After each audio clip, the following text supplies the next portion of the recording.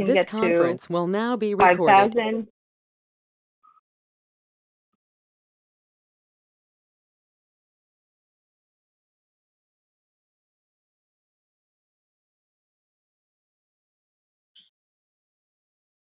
Shade, nice.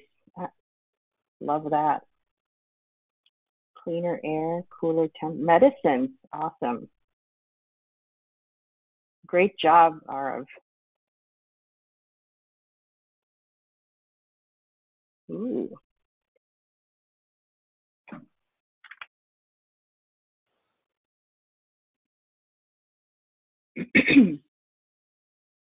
We welcome everybody, those who are joining in. We're just trying to get to 5,000 products that come from trees. Furniture, very nice. Arav, drumsticks,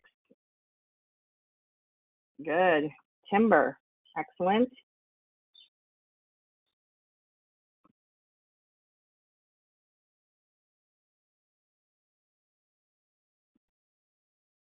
Rope, Mm-hmm.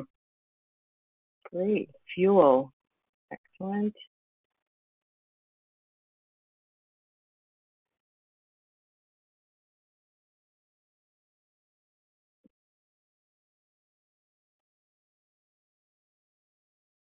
Water, okay. Heat,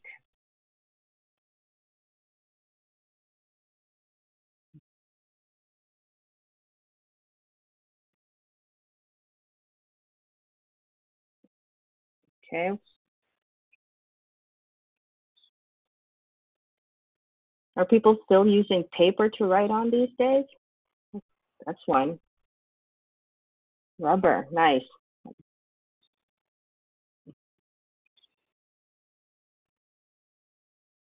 give it a couple more minutes and then we'll start. Welcome to those who just joined and welcome to Katie Lynn. Thanks for joining us. Hi, Val. Hello.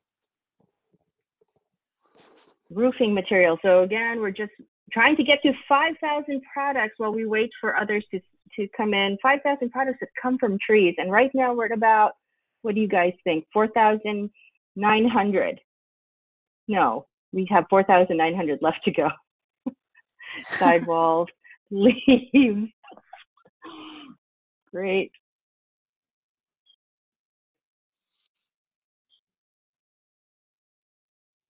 Dining plates, nice.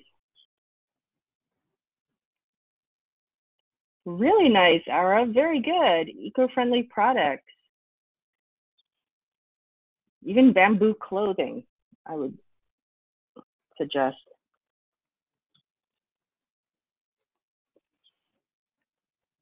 Excellent.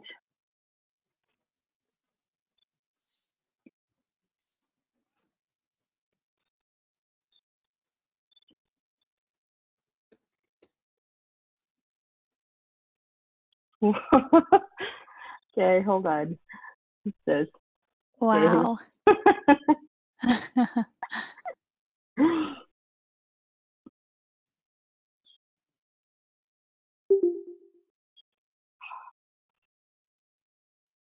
Tara, that's right. Love that. Sticks to chase and fight. Yes, of course. Toys. All right. It's about five I think we after. Should we go ahead and get started? Yeah, go ahead. Go ahead. Sure. Thanks everyone for joining us for our second session on iTree and Youth. We're really excited to have you. Um, just a few quick reminders. We are recording the session and we'll make it available to everyone. Um, and if you have questions throughout, go ahead and put them in the chat box and I'll be monitoring. Um, before we get started, we've got two quick introductions to make. Um, the first is a guest speaker. His name is Mike Rizzo, and he works with Liza and I at the U.S. Forest Service International Programs. Um, he designs and coordinates outreach, education, and capacity building projects geared toward community level partners. His goal is to build awareness and encourage broader participation in conservation practices, especially as they relate to habitat of migratory species. Excuse me, while understanding and incorporating priorities of communities into all projects. Charismatic species such as monarch butterflies and birds are used as vehicles to build interest in conservation programs that benefit people and nature alike. Based in Chicago, Mike works with a variety of non-governmental organizations, educational institutions, and government agencies to build networks in the US and at the international level that strengthen individuals, communities, and ultimately conservation through his work. We'll hear a bit more from Mike throughout the presentation, um, but a second introduction that we have is Katie Lynn Bunny. She's the education coordinator at the Monarch Joint Venture. Katie Lynn has a background in environmental education and has been partnering with the U.S. Forest Service since she started as the Education and Outreach Coordinator at the University of Minnesota Monarch Lab.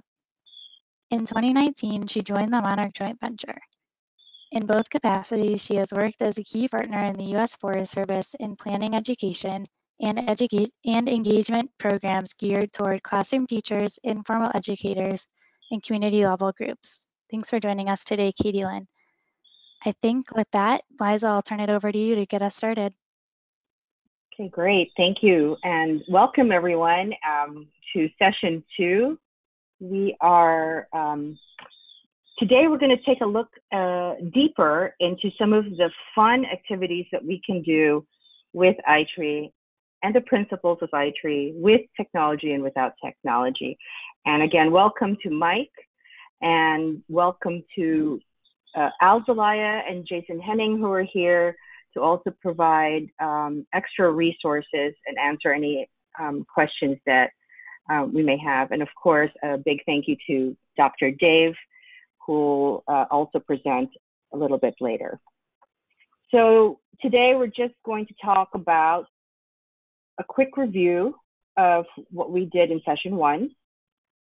And my presentation will just take a look at some of the fun projects that don't really require technology. Then we'll hear from Mike about how connection can inspire protection. We'll hear from Dr. Dave who will talk more in depth about some iTree projects. Then we'll take a look at your capstone projects and get you thinking about that. And then we'll have a discussion. so just as a recap, you can feel free to unmute yourselves or put it, type it in the chat. Dr. Dave wants to know which iTree tools can be used internationally.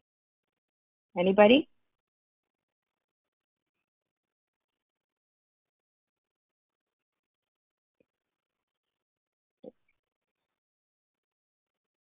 Eco and Canopy, that's right. Thanks, Akshat. We have Eco and Canopy. Okay. Next question. Is technology required to teach iTree to young people?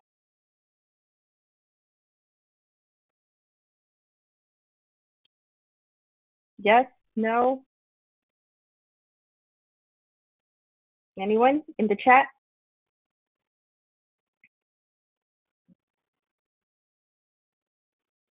Okay, well, the answer is not if you're teaching the principle of the tool.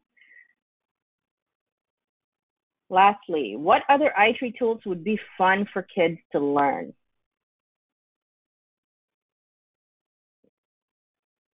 Anybody remember? My tree, really good, and design, excellent. Thank you. So just as a recap, want to engage kids in various ways, and there are different approaches and techniques for doing this. We work uh, with them outside their front door, what's in their backyard, expose them early, connect them through emotion. If we remember the picture with Ashim taking a group out for forest bathing, create a sense of wonder, keeping it fun, using live animals, for example. Um, make young people feel like they're part of a greater mission. They can do that through citizen science or through outreach to the community. In, excuse me, include the family and the community in conservation. Train young people to train others. and then scaffold the learning. So up next, we're going to take a look at the power of trees, the principles behind iTrees, citizen science opportunities, and we're going to do it without technology.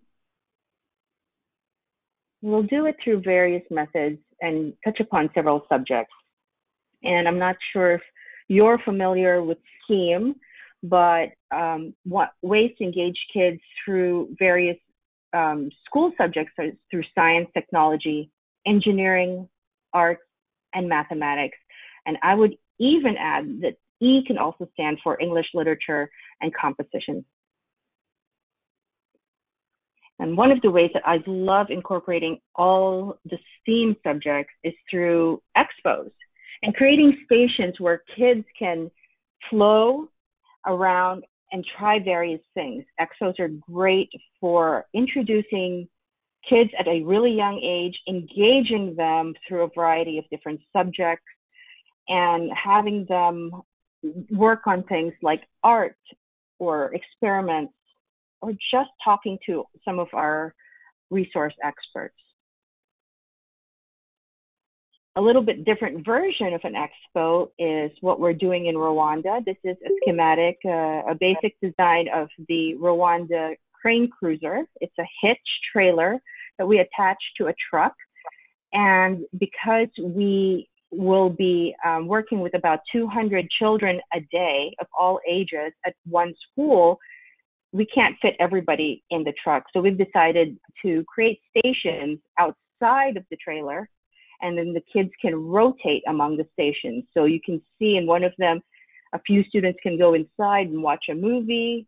Others can learn about um, have trivia contests, learn about different birds. There are also pop-up tables and chairs where they can perform experiments. And no matter whether whether you have a mobile um, station just like the crane cruiser or have an expo indoors, the idea is that you create stations that um, have a narrative.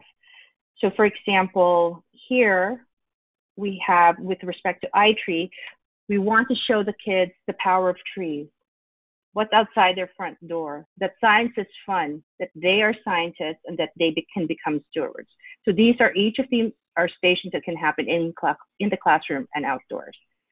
So just want to give you some examples of what we've done and what we're thinking of doing um, for these projects with related to iTree. So the first key thing is to take away that word iTree and replace it with products and services. What does that mean for young people? What can we get from trees? And we started out with that question in the beginning. And for the Rwanda Biobus, what we're doing is a tree lay race. And because we're starting out with 200 students, we're dividing them into groups of three or four and just within a timed session, they have to come up with as many products and services as possible. And it's something that they can keep. It's low cost. You can use it on, a, you can write it down on a chalkboard. You can use a large piece of paper. You can, you know, work on a notebook. It just depends on the docent. But again, something timed, competitive, gets the ideas flowing and gets the kids thinking about the ecosystem services and benefits and products from trees. Another thing that um, we've done and that we'd love to recommend is growing a paper tree.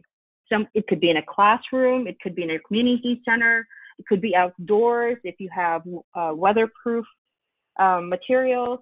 And the idea is that every day, young people will write a benefit or a product on a leaf and then attach it to the tree itself and watch the tree grow and watch the shade and the foliage grow as well. Again, this is for any age, but I know that young people, uh, the younger they are, I think kinder through kindergarten through third grade, fourth grade, they love this exercise. It again, it is easy to prepare, um, and you can use recycled paper. Just have to have a little bit of imagination when you create this. one of the things we also want to encourage young kids to do is to go outside into the backyard and meet the greens, the green spaces around them. Have them observe, write, or draw what they see. Or have them pretend to be a map maker or a bird and take a look at the canopy from the top. What did they see? What do you think they'll be able to see from the top? Have them get up close or be an ant and, and take a look at the understory of urban forests and take a look at the green spaces around them. And then have them jot it all down, have them write it. Qualitative and quantitative measurements of the green space around them. This is easy to prepare. All you need pens and pencils, clipboards, paper, and measuring tape. And Dr. Dave will talk more about this in his presentation. For the older kids, those who are more comfortable with uh, math and higher math um, can take a take a look at um, this exercise where we've created three sample trees.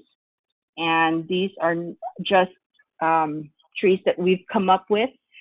So in case you don't have it in, um, if ECO isn't ready in a particular place, can, we can create this table for you.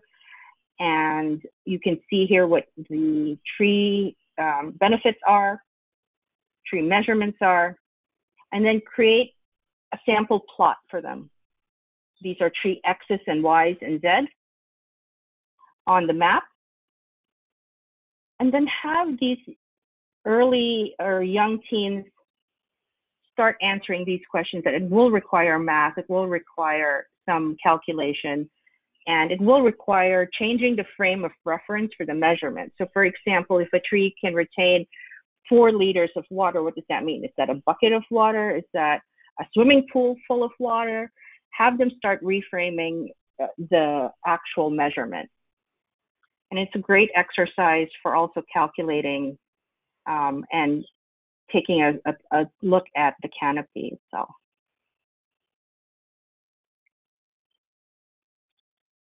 Making science fun by showing uh, the ecosystem benefits of trees is a great way to engage kids. This is a soil, soil erosion experiment that I created for several expos. I had it in my office for a long time.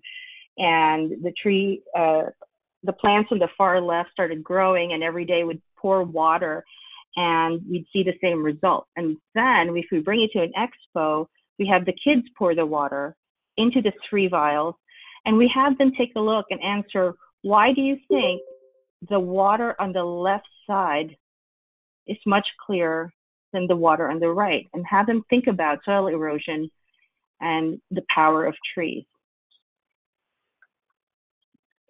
In your Google Drive, I'll be put materials and instructions on how to create this project if you're interested. And again, if you have any questions, feel free to ask me, WhatsApp me anytime. Another fun project is the rainfall simulator. And it's similar to the soil erosion experiment. It's a little bit more complicated to create, but it's a really um, great way to show the difference in surfaces and how these types of surfaces that range from the impervious one all the way to the from the uh, from the far right to one with vegetation on the left, how it can retain water. And as you can see, there are two jars for each type of surface, one for the infiltrate or the water being absorbed into the soil, and then the runoff, those that are not, when it rains, those that are escaping the plants and the surfaces and going straight into the rivers and watersheds.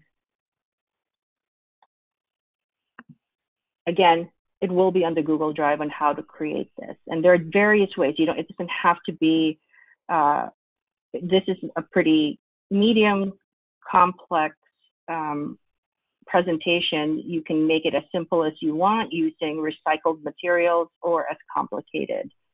Um, I, have seen some where it they have a whole system of irrigation and 10 different types of surfaces, including pebbles and rocks, mulch, etc.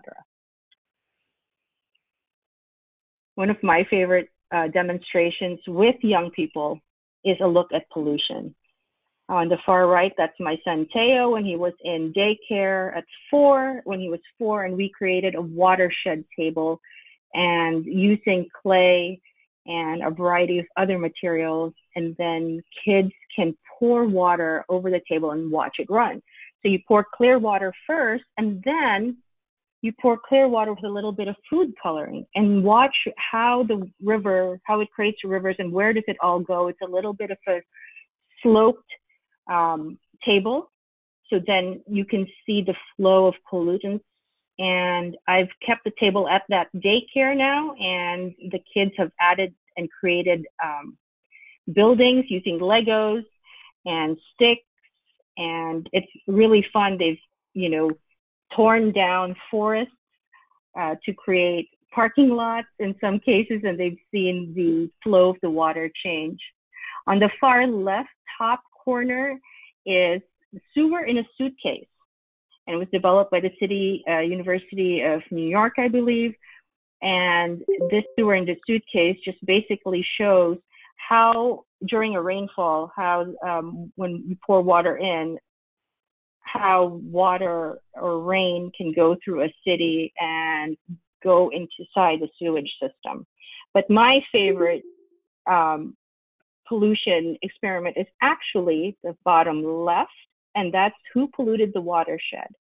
And I love giving kids these canisters of pollutants, and some of them are, you know, ink or just trash or leaves. Um, just different types of materials, and then you tell a story. And when they hear their pollutants, one by one, students go up and dump their pollutant inside this um, simulated watershed, the simulated body of water, and they start seeing how dirty it becomes. And you put a little toy fish in there or a little diver, and you keep asking the kids, is this something you want to fish from? Is this something you want to swim in? Is this water you want to drink? And it's a really easy and powerful demonstration of pollution um, via story, via narrative. Again, this will be in Google Drive. We'll have it. Uh, we'll have the different methods just for the hoop, the bottom left, and then the far right. We don't have the sewer in a suitcase um, available, but I'll uh, put a link in there to the sewer in a suitcase just in case you wanted to see what it looked like. A fun experiment that we did with second graders was climate change in a bottle. And in this case, we had um, two, two bottles, two plastic bottles, each with a thermometer and a heat lamp or you can put it out under the sun. And then you have the kids record the temperature. And then you start, and then with one of the bottles, it should have um, a plant inside it. And the fun thing that I love uh, to have kids do is make carbon dioxide just using vinegar and baking soda, and they blow um, a balloon with the carbon dioxide and they slowly place it using a tube into both um, bottles, and then over time, watch the temperature drop, but it won't drop a lot by a lot. It should drop slightly if it's done well. And it may not even work at all, and that's okay because in science, and you want to tell your kids that in science, it's not going to be perfect every time.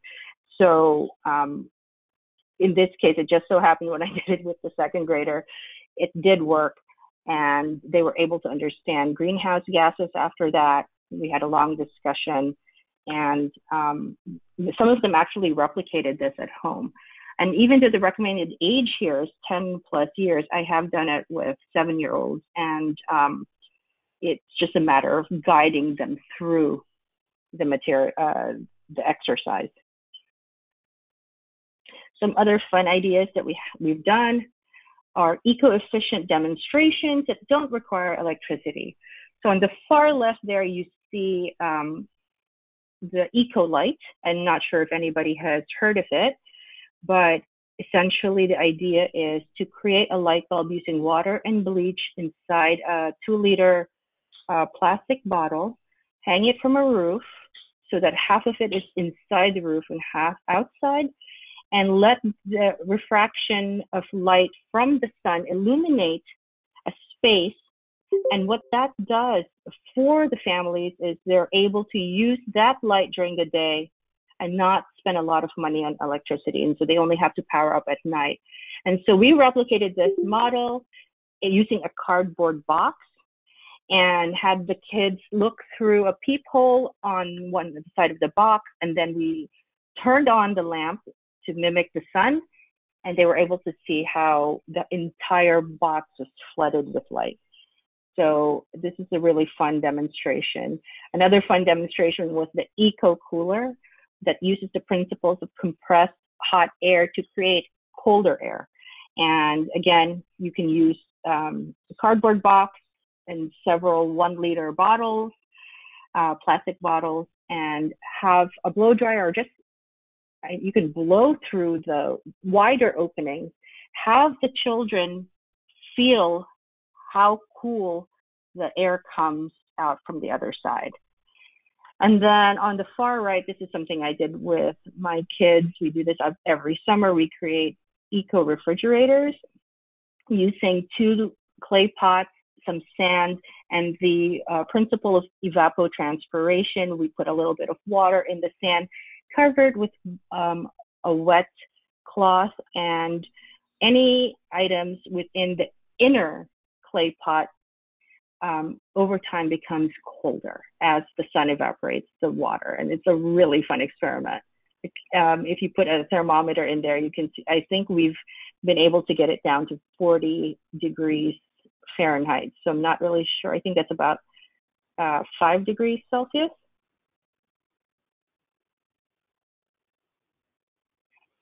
You can also engage a lot of young kids into science through art. I volunteer for the past four, uh, for the past seven years. I've been volunteering at my children's school uh, to teach art.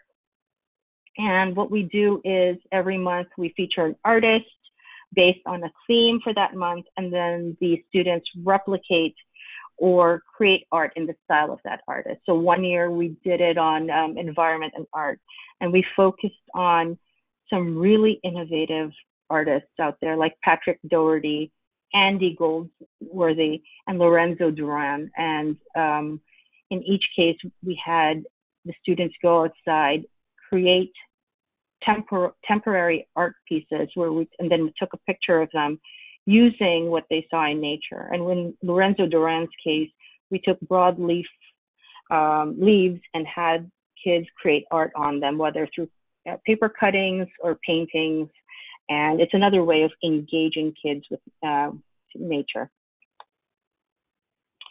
Dr. Dave's going to talk a little bit about how to become a citizen scientist using i Eco, but this is a great way of engaging kids into um, think about the bigger mission, to be part of a bigger process. And I'll talk, I mean, Dr. Dave will talk a little bit more about this, but one thing we are looking at is how can young people also look at another tool, the rapid ass- social assessment tool, for example, and then layer it with the information that you get from iTree. And um, in both this case and the one before, you, the students will need an adult to help them input a lot of the data into the computer or to analyze the information afterwards.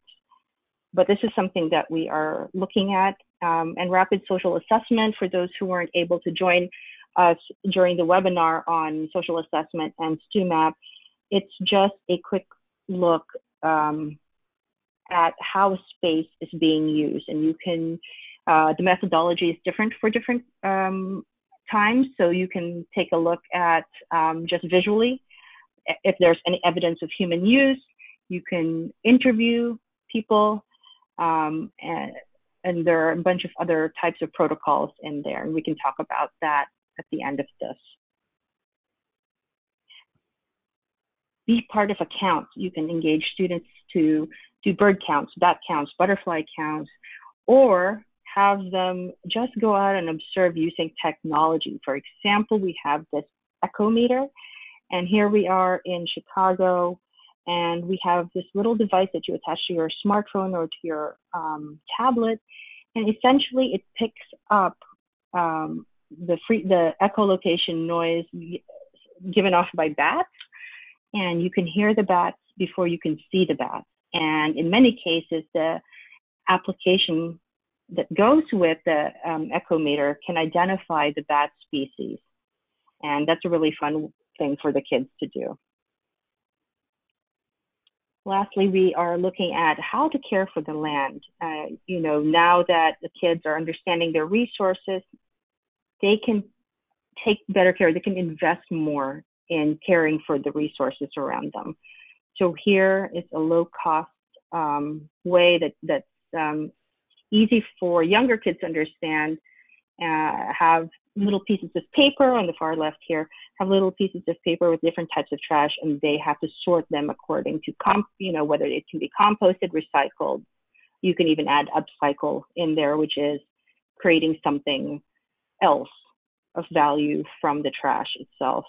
And on the right side, you have a sorting uh, exercise that shows that, ha- that uses beans to represent different types of trash, and they have the kids have to sort the beans into these larger bins or containers that um, go into a compost pile or recycling pile, etc.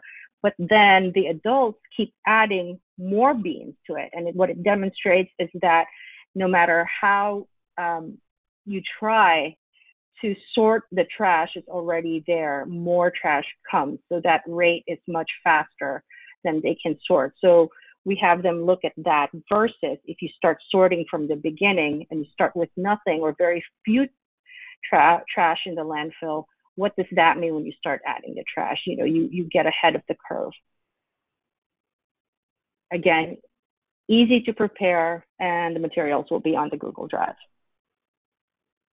this is what I was talking about earlier about upcycling, creating um, treasure from trash, wealth from waste. And um, I love these examples. These are fun ones to do with young people. But I want to single out again our um, friends from Swechha. When we visited them, um, they had a lot of amazing items in their store, in their office um, and what they were able to do with a lot of the different materials they found um, that would have gone to waste.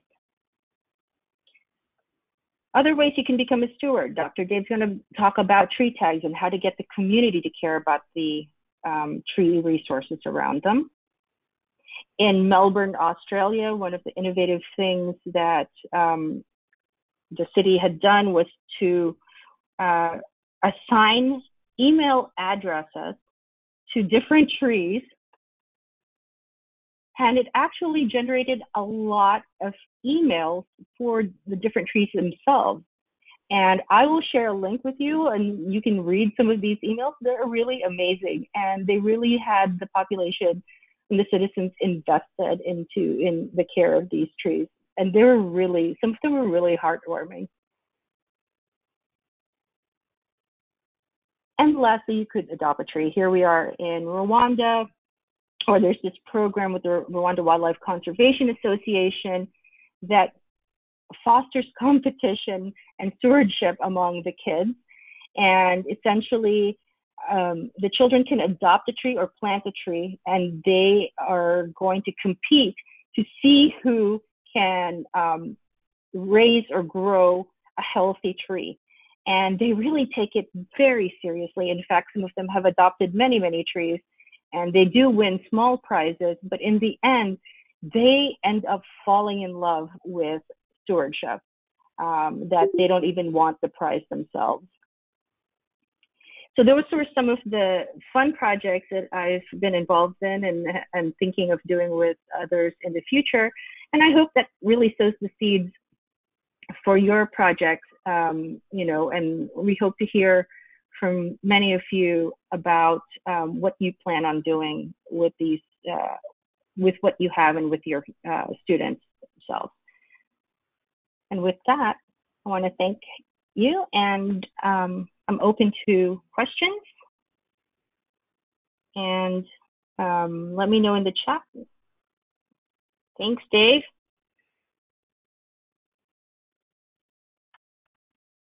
Thanks, Liza, for a great presentation.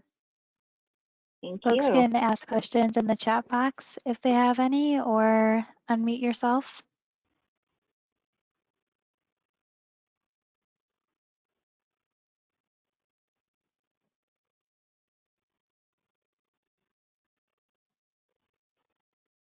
Okay, well, I just hope, well, Allison, maybe um, people can um, just ask the questions in the chat box and then we can keep this going. And if people have um, questions, we can save them for the end.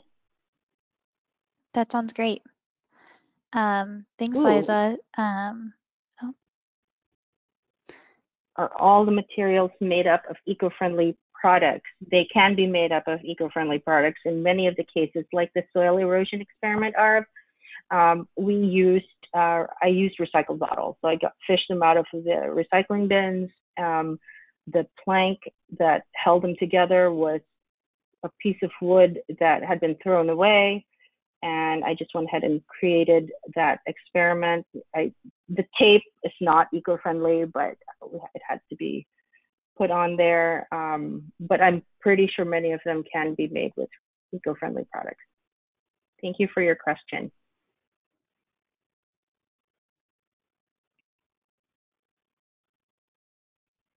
Great. So I'm going to make, Mike, I'm going to make you a presenter. I'm ready. Okay. Share and let me. Okay, good morning to my colleagues in the US and, and good evening to all of my colleagues in India. I, I haven't met everybody, but I have met Akshat and uh, you know warm greetings from Chicago. Um, just to confirm, Allison, Liza, you could hear me well and see my screen? Yes. Perfect. Yep. All right, I'm going to start the presentation now.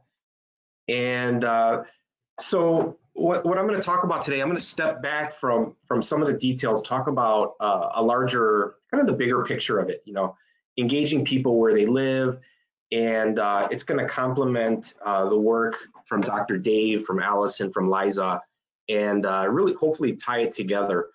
But really, is you know, it's uh, why why are we doing this? You know, where how do we engage people? And uh, there's a lot of techniques to it. Uh, you know, outreach programs, training, you know, creative ideas.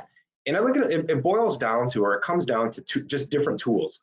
All of these, like whether it's iTree, whether it's a bird, a monarch, soil, the erosion experiment, they're all tools to just to attract people and, and, and get them involved. But to me, the, the key to, to engaging with people first is stepping back and listening. What does a community actually want?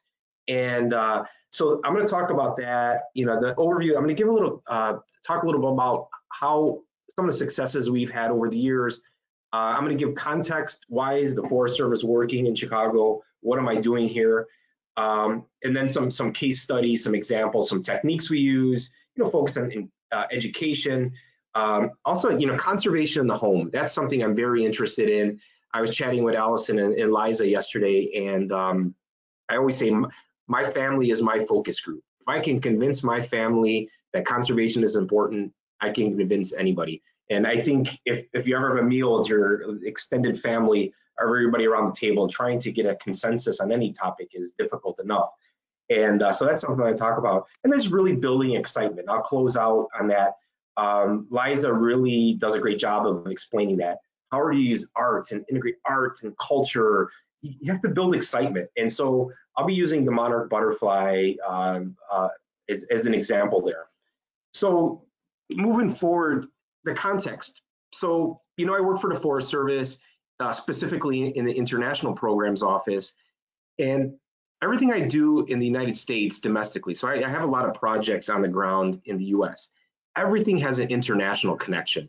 And um, and how do I do that? It's it's it's a lot of it's it's dealing with habitat outreach programs associated with uh, migratory species, uh, migratory birds, monarch butterflies, dragonflies, bats. Uh, you saw that equimeter from that Liza put in. Um, that really establishes. So th that's one of the tools I use um, one, it's very engaging, it's very exciting for folks, but it's also, it ties into our agency's mission. So besides uh, forestry or hydrology, migratory species conservation is a huge part of our program. Um, and this is the program is called Wings Across the Americas. So work I do in Chicago or elsewhere, Cleveland, DC, ties into work that's happening in say Mexico and down south into Latin America. And from that, I, I, I learned from all of the, a lot of the communities that we work with. So we're investing in conservation, uh, uh, important uh, areas for conservation along these flyways, but also in people. And we all learn from one another. And that, that key is listening. So it's about habitat. I mentioned it. Conservation, hotspots, uh, important bird areas, habitat for monarchs. These are these are strategic investments. It's habitat. Um, by by these important spots along the flyway, they, you know, it's it really protects investments along the entire flyway. So I mentioned the migratory species. It's about habitat. You see there, you know, uh, flowers, nectar sources, but it's also about people, and that's what it boils down to. How do we get people involved? not everybody's going to go out to a national forest. Not everybody is going to appreciate it as much, but the folks walking here in this picture, for example, these are families walking we work with. I just like this picture because it, to me, it, it tells a story. I want them to be advocates. In this case, it's for monarch butterfly conservation, but they may not go to a national forest out west in the Western US, but these are advocates. They could be voters, um, influence policy, um, or just you know it, or they can go. Let's get them out there. But anyway so then it's about people. And the you know and it's also appreciating where you're at. Here you know we could tie in food security we could tie in conservation in education that sort of thing. So it's about people. And going back to the forest service here we have uh, a tallgrass prairie habitat natural and protected area uh, i actually used to work there before i started in the international office so what does this mean to those people back here why should they care and so this to me is a is a key question. Why should someone who lives in an urban area, here's an industrial zone in the South Bronx, uh, the gr green spaces in that neighborhood are those plants growing in the cracks. And I know Akshat's visited there last year, uh, but why should they care? And so that, that's a big challenge. How do you foster a strong connection for nature, for conservation uh, with urban families? This is a, an extreme example. Um, you know, it's a steel mill in Northwest Indiana. I know Al, uh, Al knows this area well. Liza and Allison have visited there, Akshat as well. Uh, it's an extreme example, but there are people who live next door to this. They're in the zone of impact. And so how do, how do you foster this connection if this is what you're seeing every day? Well, I, I would argue you can. And the first step really is, is fostering, but before you get to iTree and planting and appreciation for protected areas, a positive experience with nature. That's the key. That's the key first step. A positive experience with nature. So, you know, when you go and then you think about it, what's in urban areas? You could use these in outdoor labs. Here's a, a partnership with the, the Peggy Notebaert Nature Museum. And again, this picture tells a story. It's an urban area. It's actually uh, a forest preserve um, just outside of the city of Chicago. We use it uh, for teachers. It's a program called River Explorers. But if you can't get to the protected areas, even here at this river, use use what you have as your outdoor lab, as your outdoor classroom. And uh, partnerships are key to this. You know, the Forest Service can't do it alone. Here at the Nature Museum, I'm going to be mentioning partners throughout this uh, presentation. So, you know, going back, I, I, talk about families, my family, my focus group. That's my daughter uh, on the left uh, at one years old, and intuitively she um, uh, picked up the plant and, and, and got involved with me. And uh, I, I usually ask children when I present to the, the third grade, the fourth grade, whatever classroom, you know, how many of you are scientists? And usually one will be silly and raise their hand and everybody starts giggling. And I say, everybody raise their hand. And they, I said, you are all born scientists. And I was like, what? I said, what does a baby do? An infant, it's crawling, touching, tasting, getting into everything, exploring its world, his or her world. It's uh, the baby is uh, you know, it, it's it's observation, it's learning by experience, experimentation, getting hurt. Well, we stifle it. What do we do? Sit still. You're going to get dirty. Stop. You're making noise. So I look at this. It starts young. It begins at home. You make this connection, and then that connection leads to protection. It leads to conservation. You know, it's it's, it's a nice phrase. Connection means protection. Um, you know, the sign. You know, don't pick this, but that's what it means. Foster this, uh, you know, this positive experience in nature started at home. And then, you know, when I look at it, I'm, I'm, we're very focused on the household. international programs. Yes, we are working in conservation hotspots, but also very focused where you live in an urban area.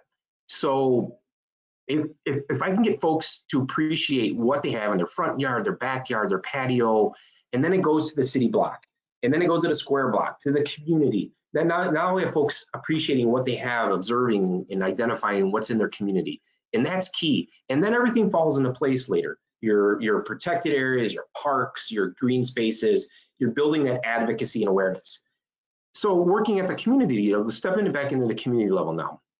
What, how do we promote this? You know, do I just, uh, do I just show up and say, hey, we're going to plant trees, we're going to plant nectar sources, uh, do experiments? Well, that's where we go back to that first, uh, the tool, our ears. Listening. What do communities want? What are the priorities? Well, em employment, especially these days, employment is a huge priority. Uh, we can't do it all. Uh, yes, we do have employment programs, public health and mental health, physical health is a key, recreation. But one of the keys is education. That's what I'm going to focus on in this presentation. I know uh, the other presenters will be talking about public health and, and recreation. So I'm going to focus on this education. That is a key priority any economic level, I would argue that you know talking to parents, that they they're looking for for for educational programs in their communities, not just in school but also in the neighborhood. So that's one key thing. And so that's what I'm going to focus on now. That's what the Forest Service and our partners have focused on. So we developed this course. I mentioned the Forest Service, we can't be everywhere, we can't do anything. So how do we expand our impact? Well, part with our partners, um, we developed these university level courses in environmental education and conservation. Uh, and then there's a variety of other courses with museums and other and other folks who do workshops. But with these courses, um, we're very focused on training teachers and informal educators. It's a sort of teacher to teacher model. Uh, I, I, was talking to Dave. I said, "Yeah, I'm an educator. I'm an informal educator, uh, but uh, for an actual classroom teacher who understand understands like uh, the standards, what what's appropriate for a fifth grade, what what's for high school, how does it tie into the standards established by the state? And for that, I, I, I really rely on partners. So we, we invited Katie Lynn Bunny. She's on the uh, uh, online. She'll be able to answer questions later. Uh, but we use inquiry-based approaches. Um, how to use your assets in the community as outdoor classrooms. So that's a big thing. And these are very intensive courses. Uh, you know, multiple day. Typically, they're three-day courses we have them what's interesting about these courses they're led by academics leading academic researchers say in monarch butterfly conservation or in citizen science. Um, these are folks who are publishing we get up-to-date information but we do breakout sessions. So say we have a cohort of 40 folks then we'll break them out into in uh, four smaller groups. Well those small groups are actually led by expert classroom teachers. How do you integrate this stuff? So i could be an academic i could be a forest service employee but do I know how to integrate this in the seventh grade? No, we ask a seventh grade teacher and he or she will teach that class. Hey, this works for me, this doesn't work, and that sort of thing. So to date, we've had the numbers probably even out of date, but over 600, probably closer to 700 at this point um, uh, in, in these courses. So the first one, we call it the North American Monarch Institute. Kind of fancy name, I know, but um, it's focused on monarch butterfly conservation. That is one of these tools. Why monarchs? It's accessible. Uh, monarchs arrive in the upper Midwest uh, roughly beginning of May, and we see them all the way through September. You can find eggs, caterpillar, habitat. Well, it lends itself well to teaching. So we've integrated some, uh, there's a, the Monarchs in the Classroom program. Katie Lynn coordinates education with the joint Monarch joint venture. So this has been very successful. Folks have responded well. But, uh, and I've had folks, butterflies, what about that? But look, and, and the, this picture again tells a story. You can see there's, you know, there's uh, biology, ecology, conservation, but also how to use this as a schoolyard activity. And the participants actually get university level credit for this.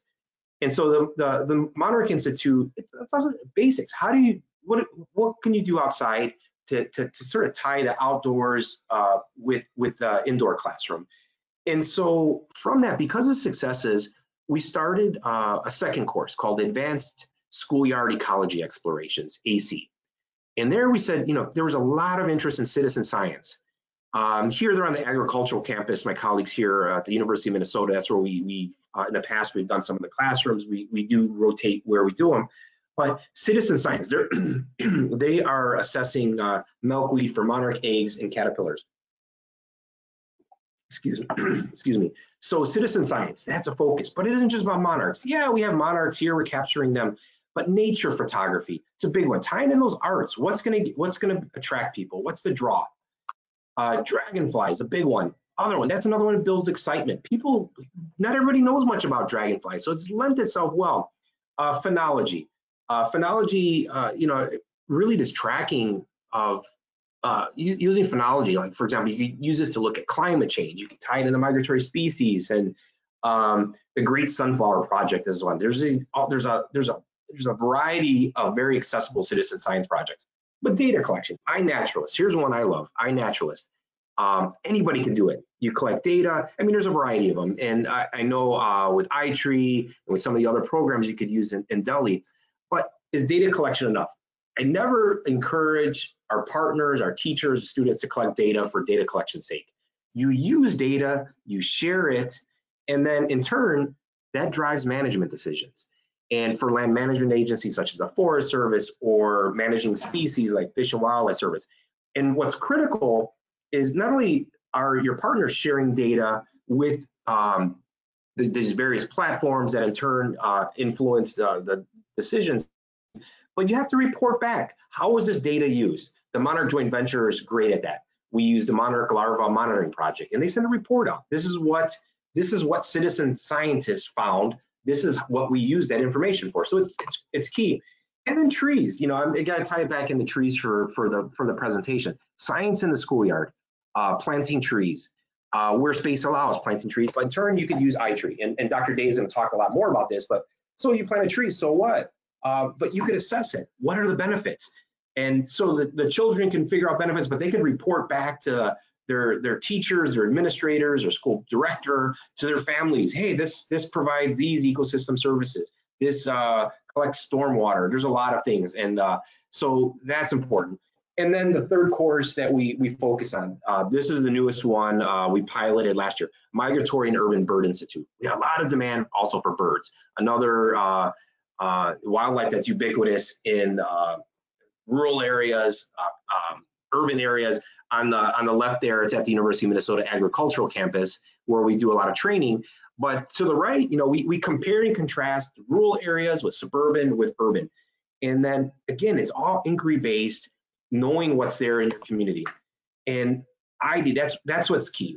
We that's the bottom line. Whether you're using birds, I don't care if you're using snakes we want people to know what's out there and be able to talk about it and uh, and and really encourage them to talk about it with each other. So uh, the so what's of it. So we're training teachers. What does it mean?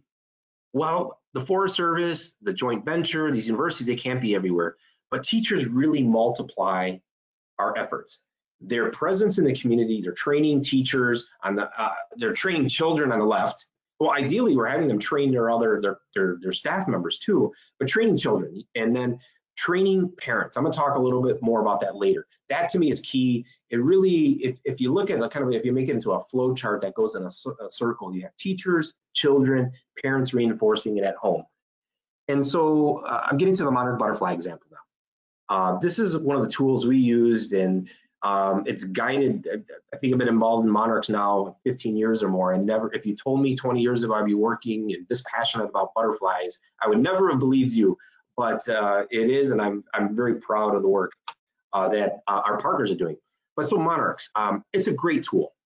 Uh, I would argue, for me anyway, it's been the best tool for teaching science, uh, getting folks involved. There's caterpillars. Uh, it, the plant grows. It's accessible. It's low cost. That's what's key at the community level? Is it low cost? Key for teachers, key for families. You know, there's a Starbucks cup. I use that to show you. It can be done with anything. Uh, not necessarily an eco-friendly material, but it's recycled. It's used uh, as, a, as a material that folks can use. And then this plant. I keep talking about monarch. The host plant is called milkweed. And I know there's some milkweed in, in India because I was looking that up. But that plant grows in a crack in the sidewalk. I, I could tell you where I can I could tell you the two corners, the streets where these are at. Well, my argument for you is that these plants, this this crack in the sidewalk with these plants is an outdoor classroom for a child. So even a child that doesn't have a backyard, here we have milkweed growing out of the sidewalk. They can find eggs, caterpillars, and use that to nourish that butterfly to an adult butterfly and release it. But you can also plant it. here in the schoolyard here, this is in Cicero, Illinois, and to, so that, that's a schoolyard actually in an industrial area. And then to the right, if you remember that that that photo I showed you earlier of the freight train tracks, you know, it's the little green growing up in the gravel. Well, this is a rain uh, garden. Uh, it's with a partner called Rocking the Boat in uh, the South Bronx.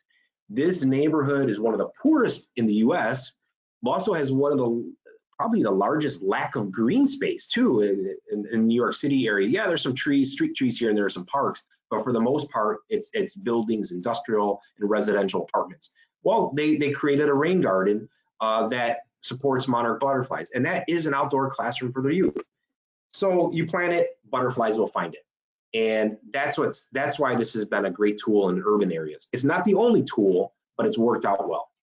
So tying this to Delhi, um, you could, uh, in the interest of time, uh, we could talk about it afterwards. But some of the things I was thinking about yesterday after kind of rehearsing with Liza and Dr. Dave and Allison, you know, thinking about everybody. What what was our, what is everybody's first gateway in the nature? What excited you? If if you didn't have green spaces, I was fortunate. There was a park. Uh, there was trees in, in the in the but I played in the alley and I played by freight train tracks. Why freight train tracks? There were snakes there. When it rained, we would find snakes, and that was our wilderness as children. Grew up in the middle of the city. Uh, and then in Delhi, you know, are there charismatic species? Is it an insect? Is it a tree? Uh, a, a, flower plant that can be used? Is there host plants for insects that you could use to get teachers involved? And then I'm gonna I'm gonna round out the talk talking about some of the art and cultural symbolism symbolism we use to get people involved. And then I'll I will uh, answer any questions and then pass over to Dr. Dave. So the case study I'm going to use uh, there's a there's an organization. Uh, it's called El Valor. It means uh, the bravery, uh, valor, bravery, and it's it's an organization that works with adults and children with special needs, but also families. Thousands of families throughout the city of Chicago. Uh, the majority of the families are from Latin America, especially Mexico. Um, what's interesting and why I picked this case study uh, to, to present with Delhi also um, there's a lot of uh, rural to urban migration patterns, and, and I think that's common of any city around the world. What's interesting in this case, the rural to urban, we have folks coming from the international level. So rural areas of Mexico, some urban areas, some cities, but uh, for the bulk of it, coming from rural areas and urban settings. So we have parents, grandparents who worked on farms, ranches, um, and had a connection to the land, but their children are losing it. They're in the city. So this is a, it's, it's a nice uh, comparison. Um, and then we use some symbolism. Uh, we, we train their staff through these programs and other ones. And then in turn, that staff, um, they train up all of their staff, all of the parents and members of the community. They make us, uh, I always say they make me look great. Uh, so showing a map here. This is the monarch butterfly migration. We call them flyways, but a migratory route. Uh, that blue star in the bottom, central Mexico. If I show this map to our partners, uh, to the families, I'll start nodding and smiling because they follow the same migration pattern. Uh, this is for butterflies, but people follow that same pattern. I, my, my, my dad's side of the family is from Mexico, right where that blue star is, a little bit to the west of there. We followed that same pattern, my family members. As a child, I went back and forth uh, from Chicago to central Mexico, three day bus ride, following the same pattern, crossing over to butterflies. So we people really relate their story to this, their migration story, their family story to this. And so when actually Val's on the line, uh, I met Val some 14, 15 years ago or so when we were exploring cities for monarch conservation. And I said, aside from all the curriculum and lesson plans, this is what we should do. And so we did, we tied in this cultural symbolism. This is a, a mural from central Mexico, 1500 years old. Um, where many of our families come from. And, and there, uh, you can see there, there's two branches there, and that's a swallowtail butterfly. They're capturing the little streams coming in their mouth means they're talking. And so we we tied in. There's, there's just this sort of it's this this connections of nature and land that go back to ancient times. And then here in the modern times, um, I debated whether to put it in, but uh, my colleagues said leave it. Um, the monarch is on all the symbolism and food and signs and taxis and a license plate. That's my cousin's license plate. And so we really just really use this energy, this uh, it's identifying this cultural symbolism, a monarch to get people involved. And people get excited. So we train parents. We design, we call it parent PD, parent professional development.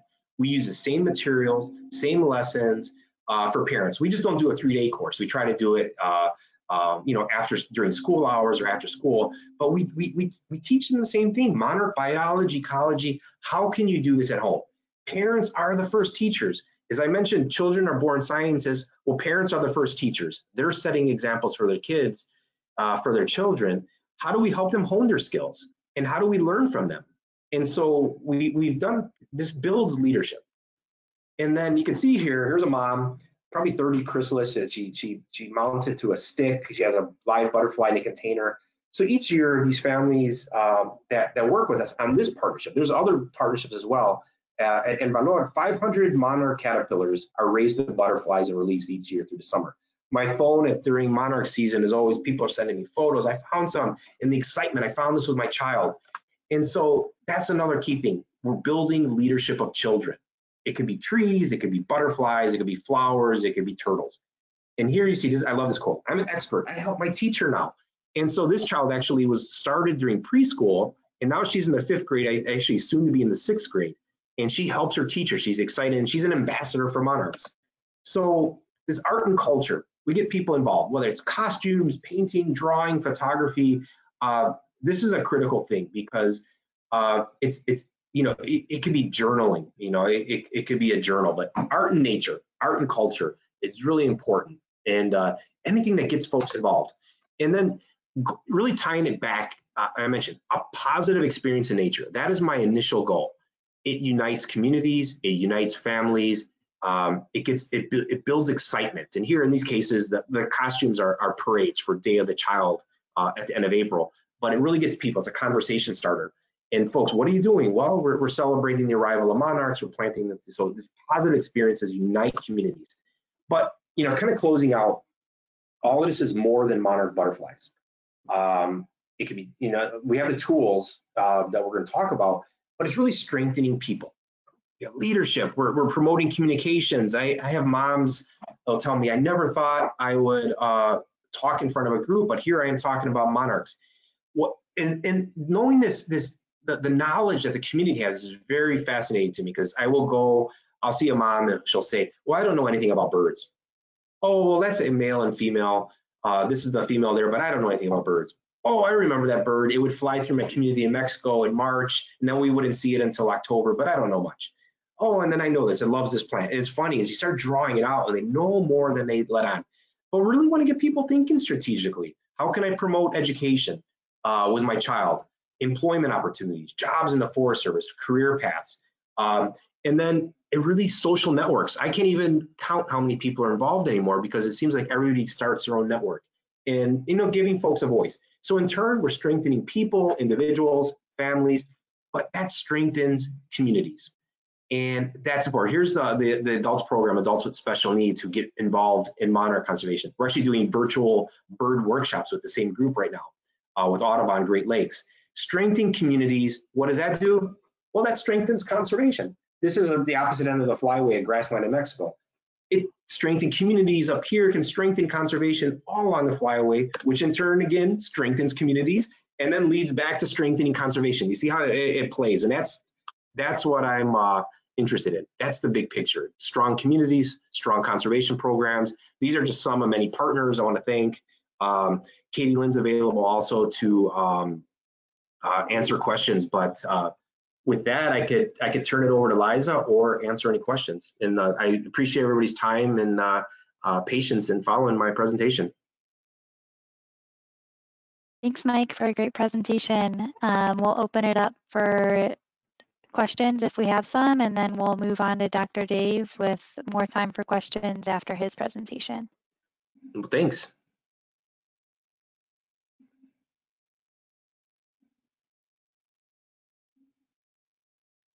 Mike, this is Dave. Um, I I was excited to see this. This is the second time that I saw you do the presentation, and the work and the um, scope of what you do with so many um, you know community members and that connection, the social connection, and and you know I, I love like I told you before the the license plate and all that connection of the monarch. Uh, just tremendous work and very exciting to see and um, you know, I, I just uh, I wouldn't mind watching it again. well, thanks. And for for our colleagues in Delhi, uh, I'm very excited to learn from all of you and the ideas that you will have in your communities how to get folks involved because I don't have all the answers. I have some tools I use, but I'm always learning from everybody, whether it's a university, whether it's El Valor here, whether it's, you know, Akshat's work, Liza, Allison. I look forward to learning from everybody.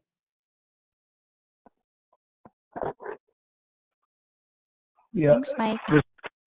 Oh, Allison, I'll just pitch in one other thing. You know, um, one cool thing which is interesting, and you're you're trying to find a topic in Delhi that folks might be interested in, in choosing or selecting, or as a common denominator. And and and sometimes it can be you know something like the monarch, but it can also be something that's happened, whether it be a disturbance or a natural disaster or you know insect or disease or pests that come into an area. And I'm just thinking of the galvanization um, where I live uh, after a tornado came through and wiped out about um, 30,000 trees within the community. Um, they were able to create a nonprofit group, which has really materialized, mobilized, and really turned into a, a network of networks, like you mentioned. So that was great, great to um, you know, it doesn't always have to be a, a, a monarch, but it, it, can be any event or anything as you look at what you might look at in, in Delhi.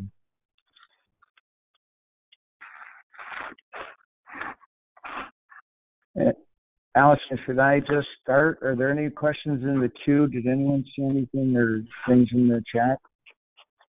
Yeah, so we don't have any questions right now. I think we'll go ahead and turn it over to you, Dr. Dave, and we'll um, we'll have more time for questions after your presentation.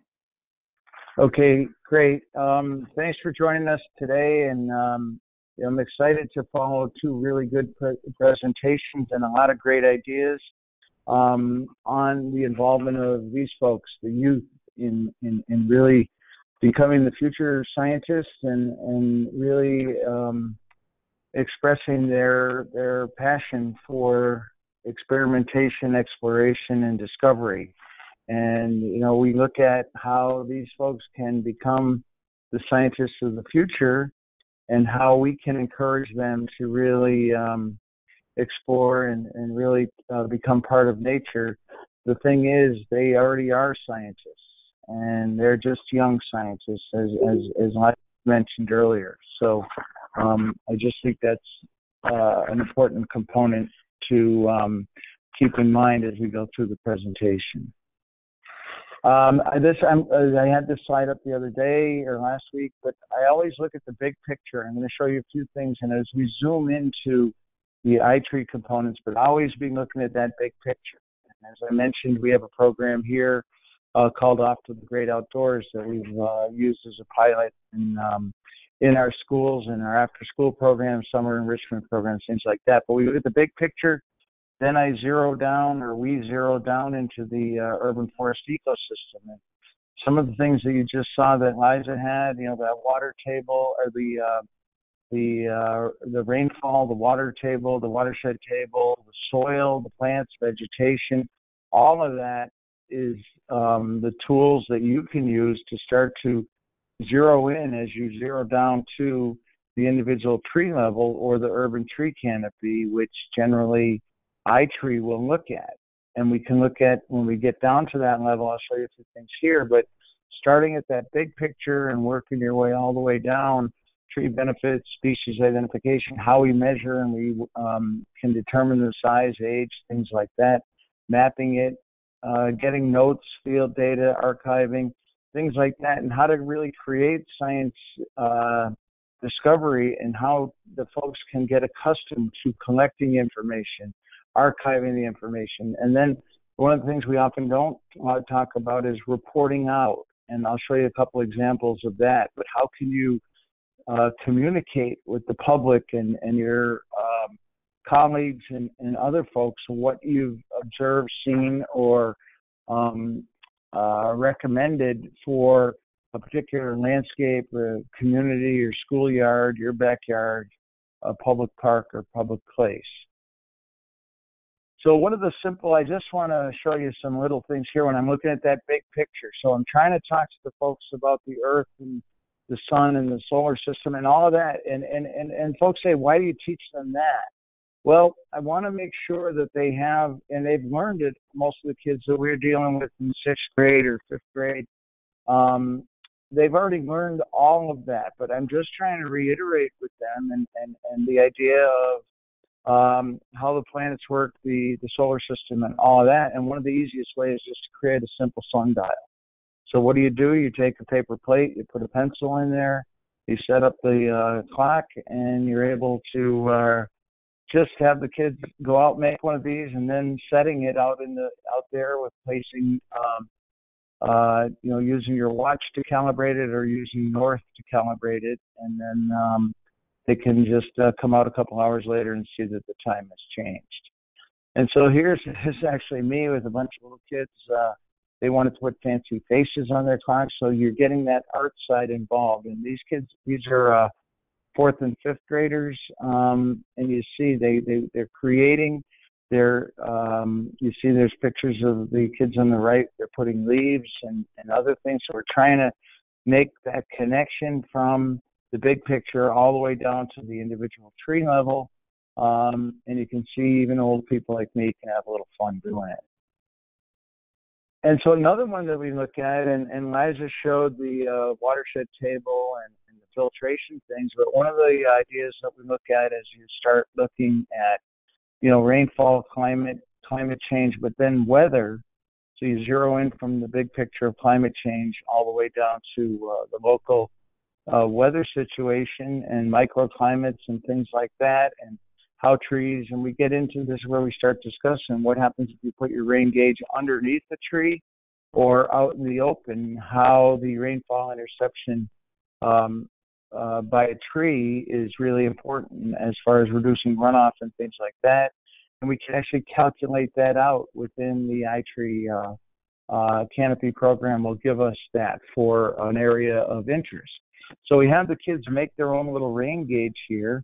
And these are just water bottles that you take and you just cut off the top, you flip it upside down, and you see it on the right here. You'll see it, and then you tape it in place and you put down the uh, either centimeters or centimeters or inches, and then we'll um, put it outside and, and we'll demonstrate a little bit with the kids. But the idea is this kid's a, a third grader and his this is his in front. So it, it, it's for all ages. But now he may have a little idea. Oh, um, that rainfall can be measured. I experience it because I have to put my raincoat on.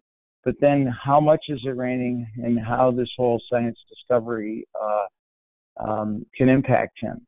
So I just like that because that's a, a, a, one of our younger audiences during a, um, a summer enrichment program and he was able to keep up with uh, most of the sixth graders that his brother was in the class. He just happened to tag along, so that was great.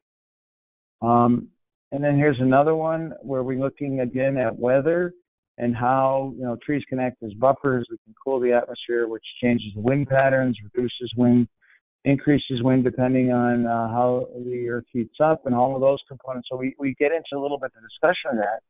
But here's a, a making a weather vane.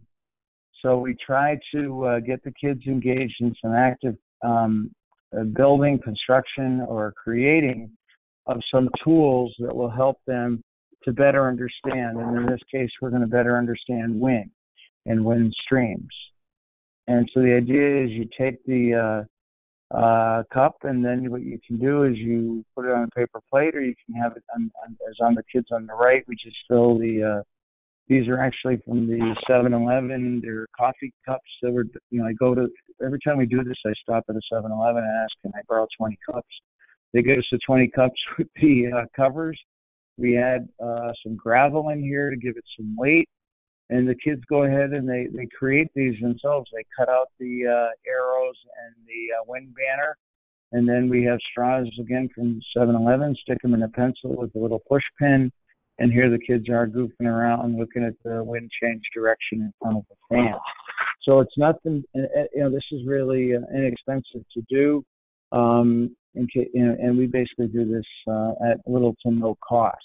So that's one of the key components of this. It's it's uh, exciting for the kids. You can see the smiles on their face and the the, the discovery and inquiry that they're uh, exhibiting right there. So I just think that really shows that you know a successful day with the kids. And so as we start looking, you know, beyond just weather and temperature and things like that, because we have a whole series, and I'm actually on the Google Drive. You'll see I'm um, putting a document. It just says uh, Dave B. Uh, session number two. I have a couple documents in there now, and I'll be adding some more. So I show you uh, a few of these and how to actually make some of these, plus a bunch of other uh, low cost, no cost uh, exploration tools. So one of the things is we make with the kids is um, we measure the uh, size of a tree, try to calculate the age of a tree by looking at the diameter at breast height. So we talk to them a little bit about how we measure trees. That standard measure of four and a half feet from the uh, ground up. So some of them are uh, reaching up high because the kids are just about four and a half feet tall. And so we'll have them create uh, DBH tape and then the other thing we'll look at is the height of the tree. And you can see here on the right, we're making a clinometer, and I'll show you that in a minute. But the thing is, um, we were demonstrating these kids. Um, this was a uh, an enrichment class that we did that we are demonstrating some of the uh, no cost tools that we made. And I'll show you the kids actually trying to put these together. So here's the on the right side. You'll see we just take a um, a tape, a 100 foot tape, and we stretch it out. We make these about uh, 36 to 48 inch long uh, piece of um, survey tape. So you can buy these a roll of this for about three dollars, and you just put it alongside the uh, tape measure, and then the kids go with a sharpie marker and they mark every inch along the um, uh, on the on the uh, flagging tape, and then on the left, you'll see them actually outside using the DBH tape right here. And so they're looking and you'll see it's completed with the inches. And then what that'll do is give us the circumference of the tree. And then we, uh, when we come back into our classroom, we'll work with them on converting circumference to diameter.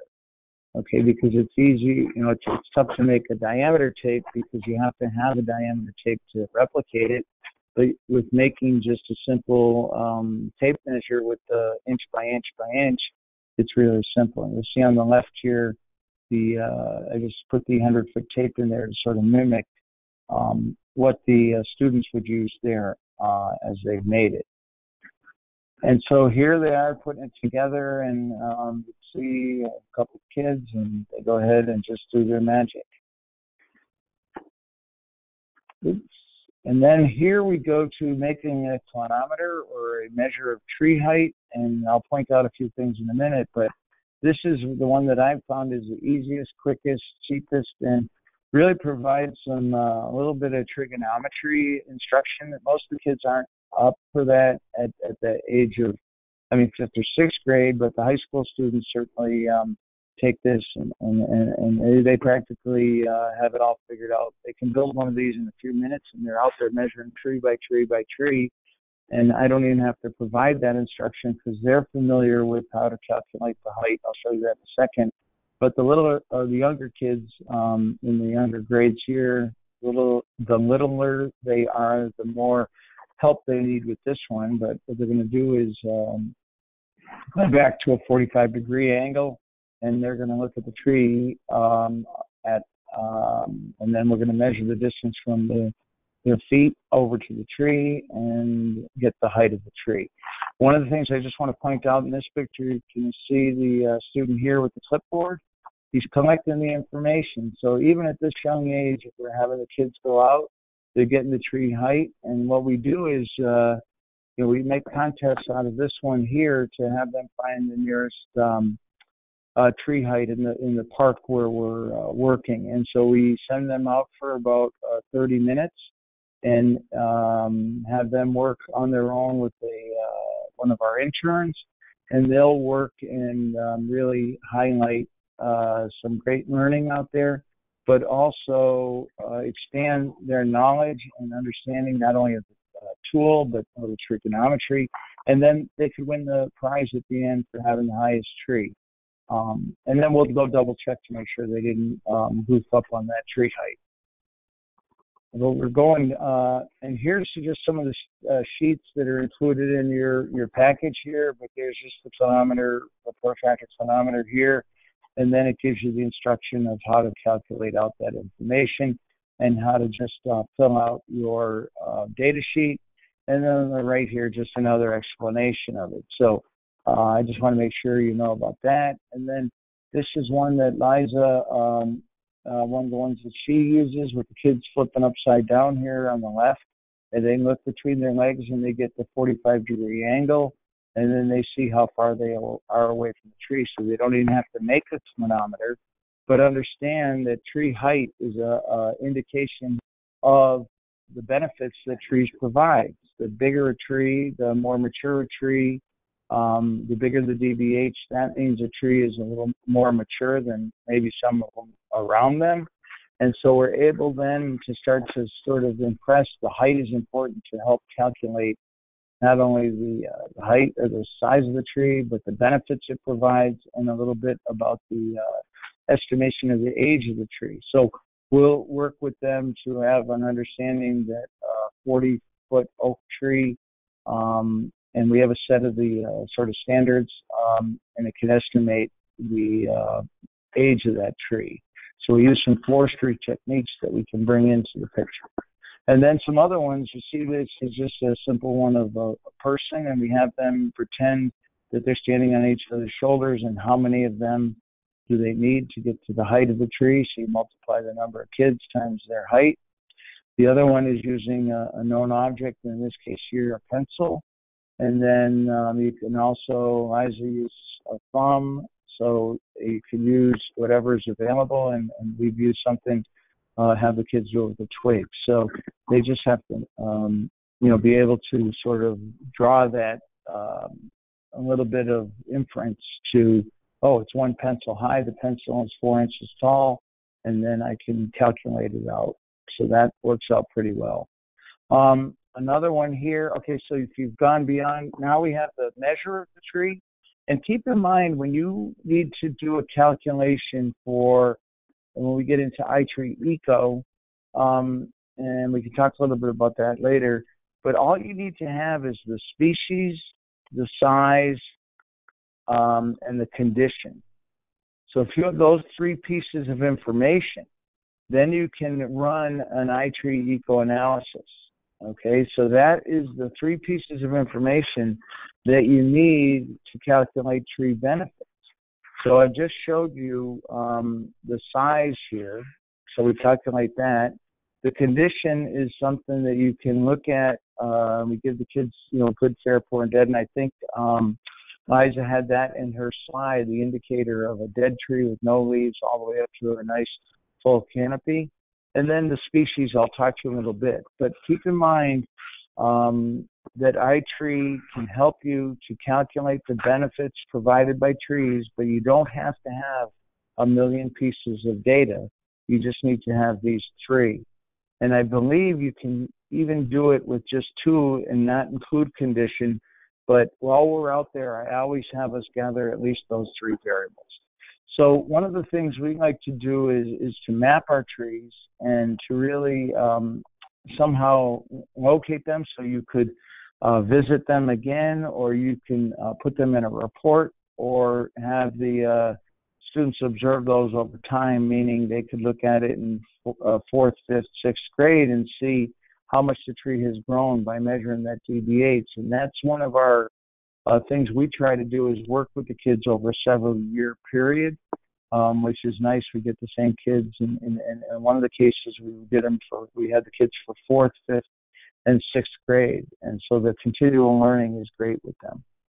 And so the idea is, um, I think Al Zelaya is on the line, and Al, you'll recognize uh, this is your map that you've done with our students here in Springfield, Massachusetts, where you went out to the center square and this is Al went out and did a, um, a study here using iTree uh, to look at the, the, the benefits of the trees provided in a uh, downtown, a dense urban core area. But the point that I'm trying to make with this slide is, on the left uh, is, is what the students or kids might draw, or you might even draw, but it's an idea of converting something like this that tells a story, and you can always start to data archive things by putting that map in a three ring binder with three hole punch, and there you have it. Or you can take it, and if you have the um, um, to go to the uh, effort and and really sort of a learning experience and trying to create a great map that looks like this. And the map on the right here, Al put together for our um, citizen science program that he ran here in Springfield, Massachusetts. And in this case here, you'll see this is just done, done on Google Maps. And you'll see that each tree has an associated uh, icon and a color of, of the uh, symbol. So now you can start to look, okay, I see a bunch of purple trees, those are Callery pears, and I see a bunch of red maples in here, okay, and I only see a couple Norway maples. And so you can start to look at species distribution, another thing that we can talk about, but also then calculate uh, what the value, how much runoff, air, uh, water runoff is reduced from uh, rainfall, how much energy savings, how much um, particulate matter, how many, um, you know, sulfur dioxide, uh, particulate uh, micron, uh, particulate matter over 10 microns or under 10 microns in size. We can look at sodium dioxide and a variety of other things that trees provide here. But the important thing is that we're having the folks really observe, record, and report. And in this case here, this reporting um, is digital. It makes it a little bit easier uh, to go back and look at things later. And you'll see here, I've just pulled up one of the trees, tree ID number 179. It's that top Norway maple. And you'll see it's a 16 inch, it's in fair condition. Um, and all of the different components of it are archived right within Google Maps. So you can create an associated um, index with each of the uh, icons that you place or your waypoints, and you can uh, really have something that's um, pretty good looking. One of the other tools that we try to do is to get folks out into the field and out observing. In this case here, we put together a uh, an outdoor scavenger hunt where each one of these icons represents a different feature of the landscape. So they're going to be going down from on your left here, they're going to be in an upland forest. They go all the way down to the middle here where there's a duck pond or a stream a wetland, and then they go back up into a uh, upland forest. So have them look at various components, whether it be a habitat, whether it be looking at tree types, landscape types. Um, uh, we use this for tree identification, where we'll have a series of 10, 15 trees and have the folks go out and, have, and, and we set it up as a contest all the time, having the kids not to compete with each other, but just to add a little excitement to what they're doing. And that challenge of them to excel is really critical and important, and uh, they seem to have a great time with it. So we've always had good luck like that. And then here's another scavenger hunt where it's actually a little uh, challenge. And I did this one here with some folks from the International Society of Arboriculture, but it's one that I then replicated with the uh, the youth. And this is along a uh, river walk um, in in in, in um, Springfield, Massachusetts. But each step you went, you did something. So in this case here, you went to a tree and you explored where the uh, root flare was. And so you took the trowel that was there and they pulled back the mulch to find out how deep the mulch around the tree was and things like that. So we can have the kids do a, um, a bark tracing at another tree, or they'll uh, trace a leaf, or they'll uh, count the number of um, uh, needles on a pine tree, for instance. So we'll have them look at various components as they go along with this scavenger hunt, which is all tied into how you map things. So just using um, Google Maps, Google Earth um, can really play, pay some dividends. And here's another one. This was uh, one we do did for a uh, winter um, uh, winter break for some students that were in um, sixth, seventh, and eighth grades. They're uh, middle school, and what they did is, um, and the, that's the one on the right, and the one on the left is another scavenger hunt that we do in uh, Forest Park. But this one here was one we did on we called it a scavenger expedition, and we did it with uh, a, a summer camps. So every week a summer camp came in with this uh, a program called Mass in Motion, and we're lucky enough. Mass in Motion is a thing that uh, an effort by the state of Massachusetts to get kids moving. And so one of the ways they did that is I said, well, why don't we link nature and have the kids move and explore nature? And no one, I don't know why they hadn't thought of it, but it just became a natural fit. So we've been doing this for about five years, and it's really successful because we get the kids moving, and then in the other parts of their program, they look at healthy eating, healthy living, and things like that. But our job is to get kids moving. But my job as a Forest Service um, research scientist is to get kids exploring and learning and pressing that citizen science uh, arena. So we're making uh, healthful living with them moving and then learning a little in the environment. So the, the, that's just a, a, a map. But then you can take a map and make it just by changing your background. And in this case here, I just put like old parchment paper, and I, I got my point locations here right off of uh, Google Earth. We're able to transfer them right onto here, and so we send the kids out on this kind of scavenger hunt, but in this case here, that one has an element of know, an old pirate map that they found. And so one of the other things you want to do is we want to provide information for Eddie's scavenger hunt location. So these are just um, these are actually um, uh, uh, this would be if these were two together, it's eight and a half by eleven. So we have them half of an eight and a half by eleven by sheet um, put on cardstock, and then the kids put those together and they put a three hole punch in it and then they use some small paracord and, and, and create their little booklet that they take out with them as they look at each scavenger hunt location once they find it. So here's one where they looked at the lakes, ponds, and streams, the stop, and they looked at, and it just tells what those are.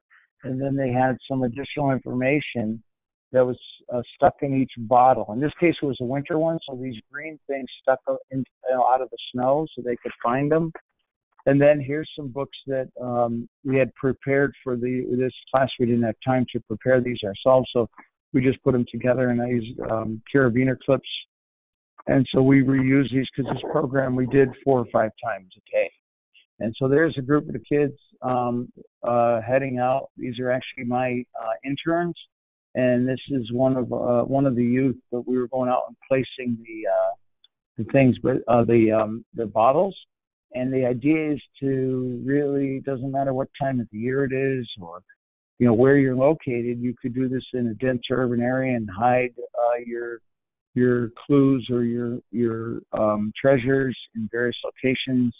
Um, but here's just an example of trying doing it in the winter on a on a beautiful winter day. A little cold, but um, kids have a great time. Kids don't seem to mind the weather. So there they are in the uh, the winter, and on the right we do the same thing in sort of a geocache uh, um, type setting here with some. These are gifts that we're giving out, um, uh, and this one was done um, uh, in the summertime. So the idea is you can do this summer, winter, all the and one of the cool things, this is just, I know this is um, a component, but it's an electronic version that you can put up a scavenger hunt on a uh, smartphone. And the idea is we have a series of these. This one here on the left, off to Great Outdoors in Abbey Brook. So you go on an adventure there. Here's one Van Horn Park West. We have Van Horn Park East. We have Forest Park. We have One Park. We have a whole series of these. And the way this works is you just um, have the kids uh, take a smartphone and they scan a barcode and it takes them to one of these these bombs. Now, keep in mind, this is most likely, or we've used it most successfully with high school students and young adults. But the idea is you can once you create a um, an electronic scavenger hunt, you have it forever, and so you can have uh, folks go and they and you can also set these up as a competition. So in our uh, high school camp, we had it set up as competition, and um, the, you have to answer a question at each location. You have to find all the locations. Some of the kids, uh, we have a couple. Um, we try to make them as easy or we want to make them in places people find. We don't want people not finding because once you get there, there's a clue and you have to answer the question based on what you observe. So uh, that's kind of critical and that's kind of cool because you know, we just not send them on a wild goose chase or a wild scavenger hunt. We're actually teaching them at each location. And so now here's where you go. I'm going to skip ahead here to, um, and Liza showed a little bit of this, where we're looking at a tree, and then we want to record the information. Okay, so like I said, we need to know the species, condition, and size. So how do you do that? Right here, you can do it. Oops, sorry. You can do it on a piece of paper, or you can do it on a, um, you know, a, a, a sheet like we have on the right here, just an example that Liza showed us. But the point is, you know, one of the key things I like to use with the kids is to give them their own uh, data book. And the data book, it provides an opportunity for them to, um, you know, keep that and record it and um, uh, have that for the whole summer or for the whole school year.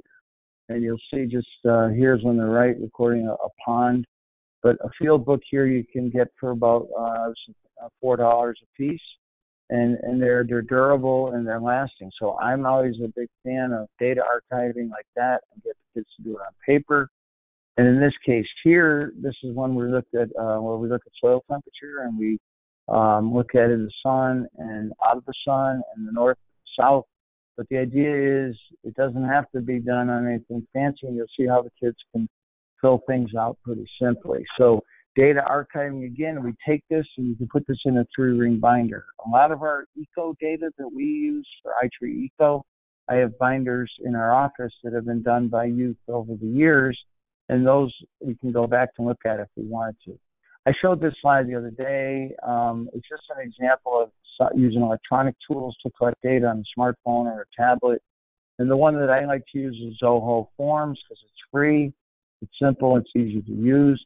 And in this case here, you'll see I just take the uh, the data collection um, information here, and you build the um, the the uh, interface. Oops, right here, and so that will uh, by dragging and dropping, whether it be a you know single line or um, uh, drop down menu or list, you can just go ahead and do this, and then you can just access that form from your smartphone. And when you're on your smartphone, it looks something like this on the right. But you can also take a picture out there. You can record other information. But you go back on your computer, you set this up for your team, for your kids, and it's really simple. And that data is then archived forever. Um, one thing I'm talk, I wanted to just try to just reiterate is we're talking about kids and turn them into citizen scientists. And one of the one of the programs we use, Forest Service um, is the Gold program, or I know our part of our environmental education team uses this. It's um, a program from NASA and some of its leading partners, but there's a whole component in there to get crowdsourced citizen science data on trees. So that's just something, uh, and this is globally. So I, I, encourage you to just take a look at the uh, Globe Observer program, um, which is a pretty refined and deliberate program that NASA has set up. Now, here's one of the most critical uh, parts because without the species, you can't figure out what your trees are, um, the benefits they provide because, you know, we, we know a small ornamental tree is only going to grow so tall and its leaf area, its leaf area index, the size of the leaf, the number of leaves. We need to know what species it is so we can calculate that out. So, you know, I showed you this last week, and I, I believe we've already put the um, the book in the resource. If it's not, I'll check and make sure it's there. But the idea is to have you work with the children, the kids, to put in something that they can build their own tree ID book. So it doesn't have to be something as slick or as finished as what you um, you just saw, but here they have a way of memorize remembering things when they write it down in an easy to understand way. So the one on the left, it was done by high school students. The one on the right, again, by high school students. These are a little more refined, and that's why I want to show you these examples. The younger kids, what we do is we uh, give them, um, they create their own tree ID index cards, and we'll give them the picture or a silhouette of a tree and a little description, and then they'll glue the pages or this um, each of those items on uh, index cards, and then they'll t- uh, punch a hole in it, and they'll have a little uh, collection that they have um, of tree ID. Uh, it's like having their own tree identification book, but the cost is nothing. So the idea is how can we do this simple, um, inexpensively, and in a rewarding way for the kids. And so we've got the species. Once we know the size of the tree, we can start to then calculate the benefits that a tree provides. And in the U.S., we can use a thing called MyTree or a thing called iTree Design, and it's really simple. What we're going to have to do is explore some ways to get these benefits by um, in, in, India, in your case, um, through a little experimentation. So we may have to find some trees that are of like uh, stature in size and shape and maturity, and we can actually run them in um, MyTree or iTree design. But the idea is that it's um, we're going to be able to calculate out a value of a tree. And you'll see in this case here, the ones on the left is just a simple number that, you know, these are ones that I made on a project in Springfield. We were working and with the Forest Service. The one on the right is from Michigan State. So, and I know Al Zelaya from Davey and, and, and um, has a whole, Davey is big on giving these out to communities and have them really explore using iTree or using any of the uh, tools available to calculate the value of a tree. And so this one here, this is one that I made up. Um, and I have the uh, fillable PDF uh, that is going to be put on your um, Google Drive. So all you need to do in this case here is a, a spot at the top where you can type in uh, the species of tree, the total value, and the number of years and you can put your logo for your organization right in the middle. So it's a fillable PDF, and I just think that's uh, useful for some folks or just make your own, and it doesn't have to be that fancy.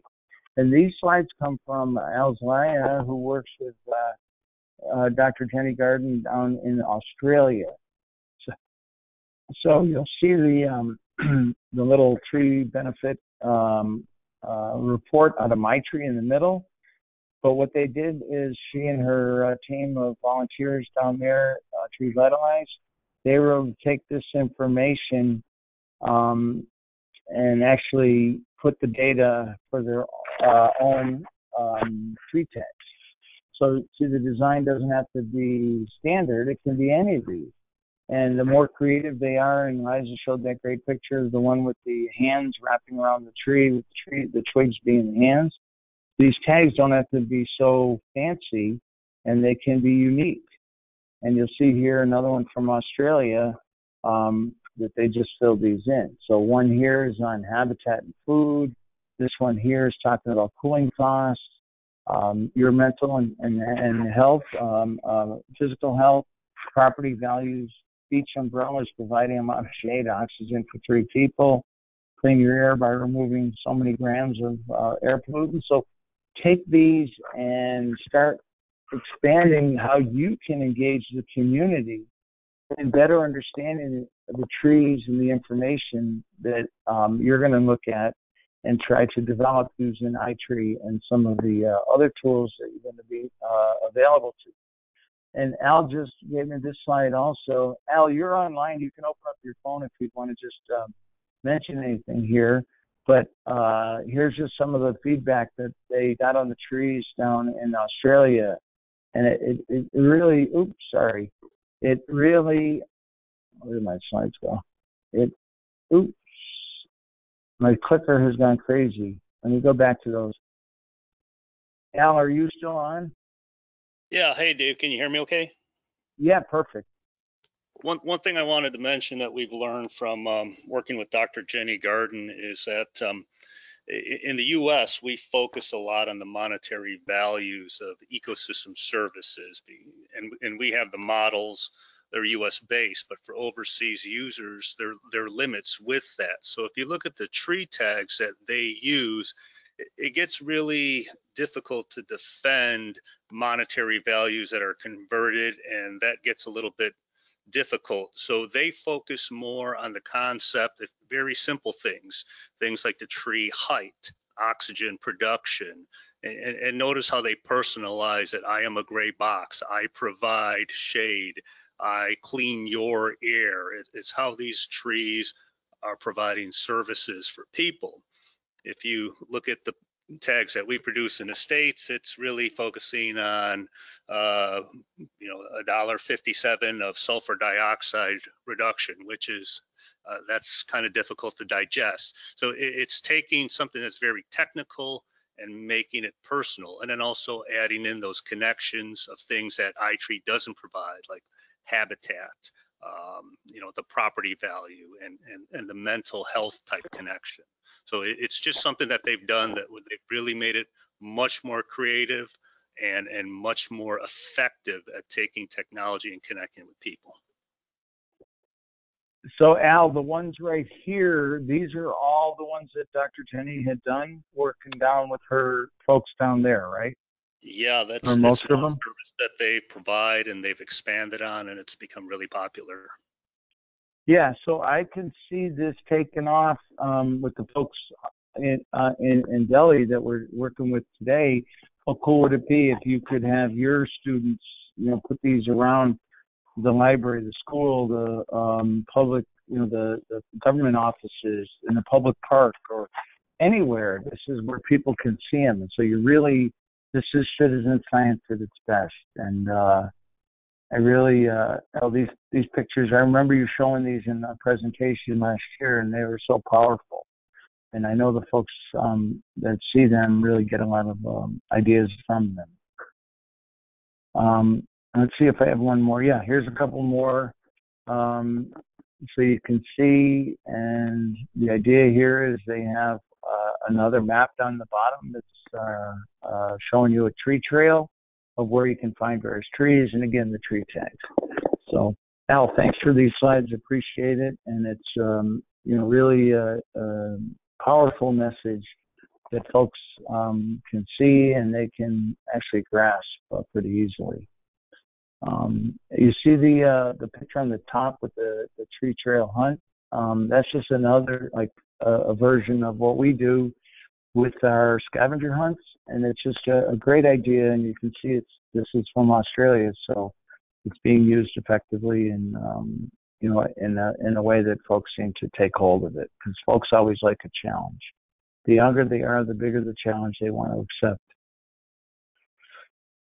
And here again, this is just some from Australia, but you see the tags, kids, and then putting it into um, some kind of marketing tools or materials that folks can um, really grasp hold of and utilize. And then this is a version, I like this on the right of uh, Jenny's trees, except instead of having the leaves, they have the, uh, and these all come from, I mean, Eliza's trees, these all come from Jenny uh, down in Australia, but it's kind of cool because each kid puts their, um, their thoughts about a tree and personalizes the tree that they have in the classroom door. So it's kind of cool. And here they are, just not too young and uh, out there measuring. Um, and in this case here, they have a little more money than we do, so they're using some tools that they actually were able to purchase. And in our case here, we're trying to help you to make some things that are inexpensive. So I, I, I want to get down. I only, we only have a little bit of time left, but I want to just mention to you iTree Canopy. I know many of you are familiar with that, um, and that's one of the key ones that we're using. Um, that's going to help you to be able to look at um, the structure, function, and value of the forest around you or the, around the areas where the, you're working, whether it be the whole town, the whole city, a neighborhood, or um, uh, school uh, school grounds. And then the other one is iTree Eco. So let me just get into these because we don't have a ton of time left. But here is our iTree canopy and you'll see here I've just uh, highlighted a, a, neighborhood and um, you'll see all the tree points. So what you do is you uh, go, and I know many of you have used this, so I'm just showing you quickly, and we'll we might get into this a little bit later. But there's your impervious grass, buildings, trees, things like that, and so you're able then to report out in a uh, summary, and then from that summary you can also um, produce another tool here that communicates what you've done. So it's data collection, data archiving, and then telling your story or reporting out. And that's the theme that I try to teach our students is you're going to collect, you're going to measure something, you're going to count it, you're going to weigh it, you're going to do something, but then we're going to record it in your date book or your log book, and then we're going to report it out in a way that folks can understand it. And it can be, you know, in a science fair type setting, it can be in a handout, it can be just in, in simple, simple um, uh, things like the, the, the paper trees that you make, and you can show that uh, communication of what you've been looking at. So I think that's pretty cool.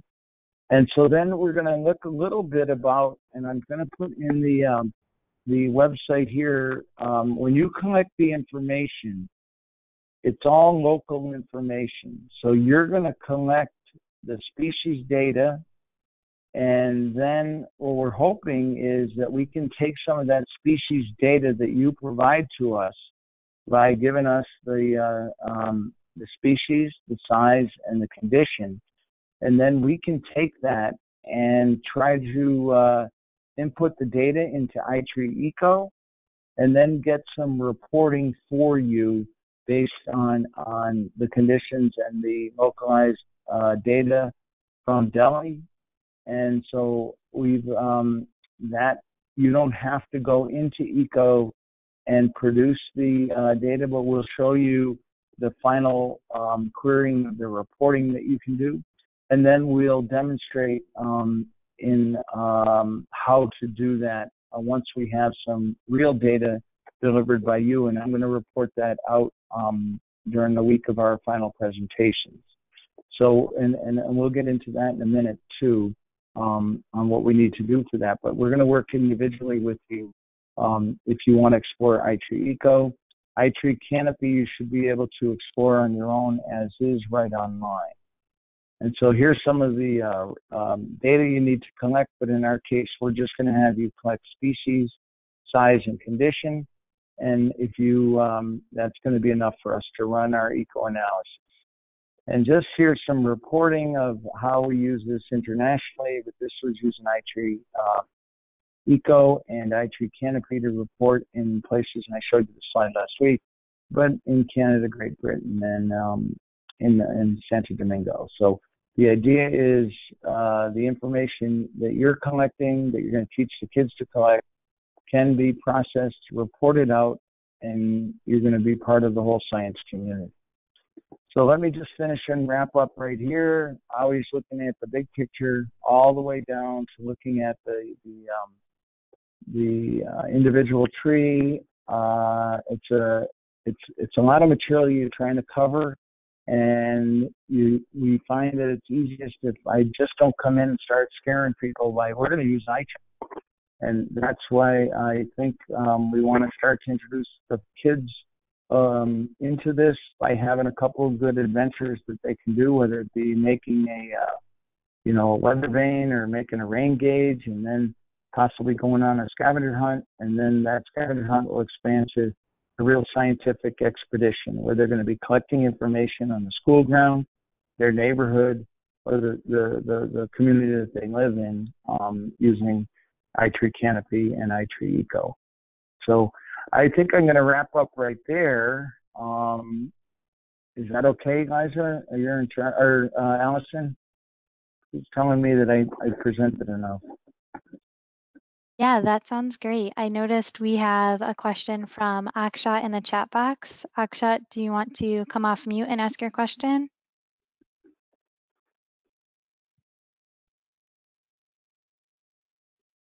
Hello, yeah, can you hear me? Yeah, Yes. perfect. Yeah, I was asking that. So one of the problems that I've seen, I've observed while uh, working with uh, uh, the, the iTree data collection link is that if you actually click on, uh, click on back while collecting data, uh, you lose all the data that you've collected. And sometimes if you have a bad internet connection and if your uh, net goes off, then again you lose the data. So our Zoho forms a better alternative uh, to data collection. And can you collect? So in, in the iTree mobile uh, link collection, I think you can you have a button in which you click and you, it automatically takes latitude and longitude So is there a similar thing in Zoho, which by which you can collect the latitude and longitude of the tree? Um, on the Zoho survey, it it holds it in a cache, so I haven't lost any data yet. Um, it um, because I'll go out where I don't have uh, so I, I, without a cellular connection, and it holds it in a cache. And when I get to my networking, it uploads that at once, but it holds it in, in, in a cache, I believe, in the memory on my iPad. If that makes sense. Um, but there's certainly a great opportunity when you use paper and pencil, paper and pen, um, that you don't lose your data. And you know, with kids, um, it seems they they enjoy working with uh, pen and paper, pencil and paper. Uh, they do enjoy the technology, but when they're out in the field looking and observing, sometimes it really uh, gets them intrigued when they get their own little field book. You know, that's one of the key things. This is your sort of this is your guidebook, and it's yours to keep for the the duration of our program. And in our case, we, we go 14 weeks with them. So we have a great opportunity to um, have them fill those books up and then they keep those. I don't know whether they treasure them or they throw them away, but I think most of the kids that I've seen, it's something they hold near and dear to them.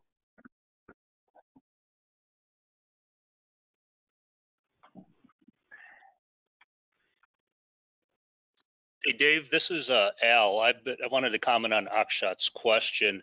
I've been uh, experimenting with another online tool called EpiCollect, and, and Akshat has actually sent me some species and school names, and I'm, I'm trying to see if I can use that to create something very simple just to collect uh, say maybe 20 tree species and, and, using common names in Delhi. And that does have the ability to collect uh, GPS coordinates. So, so probably within a week or so, I'll have uh, you know proof of concept to, to share with you all to see if that'll work. And, and the idea being that you can collect simple data, uh, as you said, Dave, uh, tree species, diameter, condition, and, and optional things like height if you like. And, and then you can import that into iTree eco to get some of the ecosystem services, but it, it's just an, another tool really to um, maybe simplify data collection. So that could be viable yeah. if uh, Zoho Forms doesn't work. Yeah, and and uh, actually, I just I'm looking on Zoho Forms. I'll try to find the answer. I just it I think it can grab your you know that latitude and longitude as a you know grab of the point location just as part of the function of a smartphone and GPS, but we'll find that out for you. The only reason I use Zoho Forms is um, it's it's sort of um, public domain, and the, form one is free. So, uh, Al, which one are you using? Uh, EpiCollect. That, that's also free. Yeah. Okay, so uh, you uh, the, the folks on the team you might want to look at, both of those and see which one you might prefer. But the, I like them because you can then just, and it, especially for the high school kids, you can just uh, create a uh, an application, um, a form that they can just open on their smartphone or on the tablet PC or on an iPad, and it works out terrific for them. The young kids, not so much.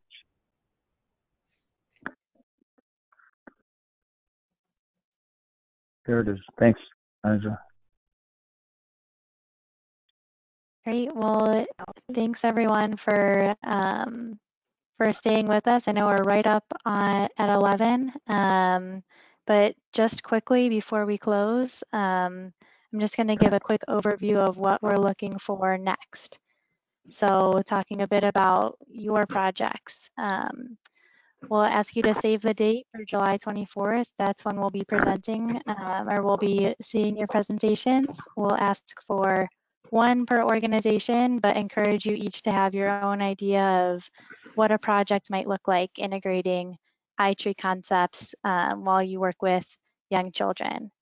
Um, and you can feel free to use this template. We'll share it with you all after the presentation.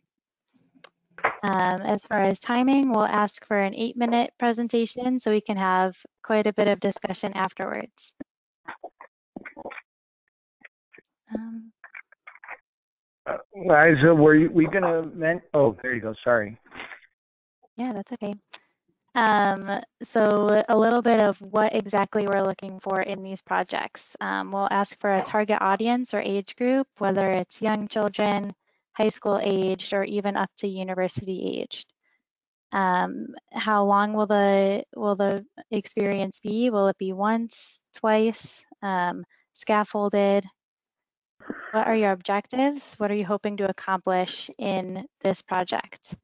Um, and what challenges might you face? Do you need any expertise from our resource experts or other Delhi Urban Network members? And we're always here for you if you need some help. We're having an office hours um, the week of July 6th. We welcome you to schedule a time with Liza, Dr. Dave, or myself um, just to brainstorm ideas if you have any questions um, or just to talk about what your project might look like. We're always available via email or WhatsApp. Yeah, and, and, Um, and yeah, go ahead. Oh, I was just gonna mention on that week of July sixth, so, um, we'll get you the mechanism for how you can choose a time. Um, and we'd be happy to spend as much time as you need to try to sort out, uh, how you put your project together and what you're gonna report out or assistance that you might need. Um, but we'll have plenty of time between the the week of July sixth and the twenty-fourth to, um, you'll you'll have plenty of time to pull your project together and um, really fine tune what you're going to present. So uh, whether it be data collecting or um, just putting together whatever you um, are going to do. So there's plenty of time. So don't feel rushed. Is what I'm getting at.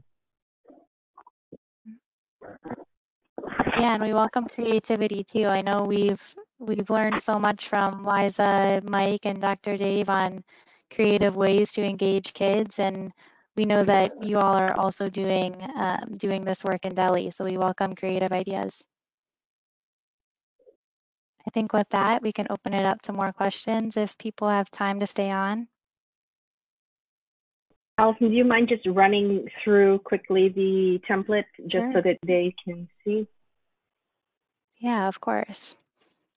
Um, it's pretty, yeah, it's pretty straightforward. Thank you to Liza for putting this together. Um, think it's about eight slides. Sorry, I'm getting a lag with my, it.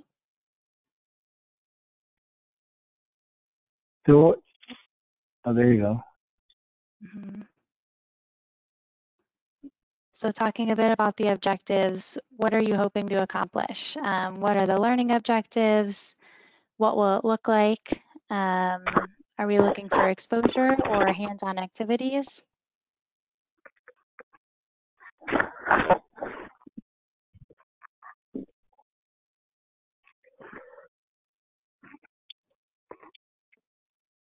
I think um, when we talked, uh, I think we figured the ideal way to do this is you're going to have about eight minutes to present, and then we'll have seven minutes for discussion. Is that how we have it planned? I think so.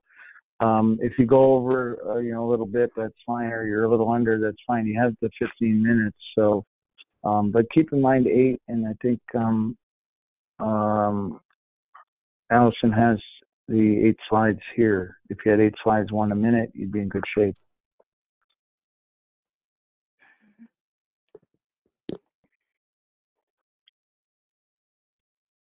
Yeah, and then a little bit about resources and materials. What might you need for a project?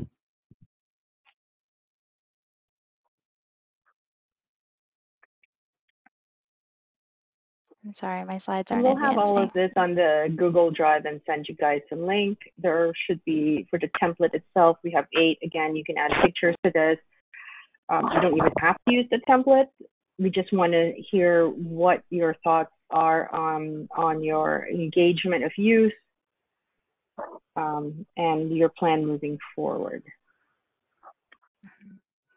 And I think um, Allison might be in the interest of time. We'll just put this up on the on the Google Drive so all of you have access to it. And I know we're running behind, but we um, want to continue this discussion offline if anybody has questions on any of the presenters today and any of the presentations, I mean, or anything for Al and Jason or Allison, please uh, feel free to send us an email and we'll get back to you as soon as we can. And or you can just schedule time with us. We're we're always here. And Mike, also, sorry. Thanks. Yes, thanks Yeah, for Mike- joining us today, Sorry. everybody. I, I think we should include Mike in the office hours because he has some great ideas. But I know you're crazy. Absolutely. Let's do that. Mike, once you, once you get on this train, you can't get off. So that's the best part of it. That's what happened to me with monarch butterflies 15, 16 years ago. Once I got on And their me- wings, I couldn't get off. That happened to me with iTree you uh, 12 years ago, whatever. It doesn't, it's all good. We're having fun. So, but uh, we're excited. I'm excited to be able to see what everyone develops as as their ideas, their projects, and I'm excited to uh, meet with you individually as you have uh, questions if I can help on any of the iTree. And I know Al's in the wings. I know he's um, he's in hot Florida, but maybe he would be available if I can't answer a question. I'm sure that um, he will know where to find the answer and probably knows it. So. And you have a great um, array of resources within that network. Uh, Akshat with iTree, um, Ashim has used iNaturalist and has done things with uh, kids, and I believe um, Peepal Baba and Akshat with Gimme Trees Trust, they do a lot of work engaging youth.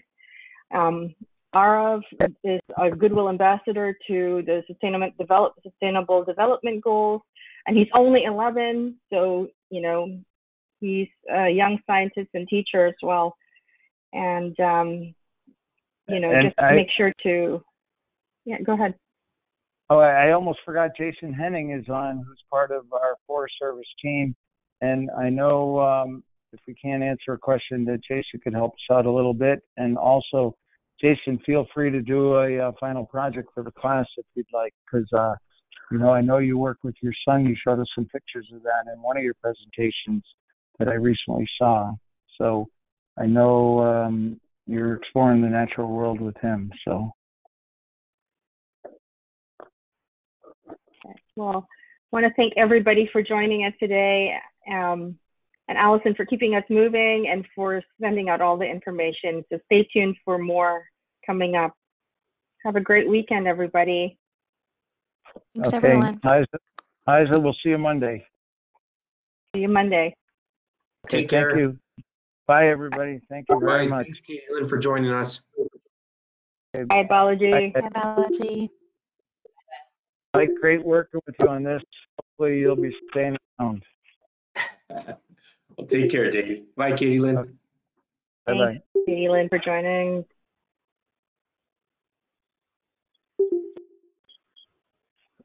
Okay.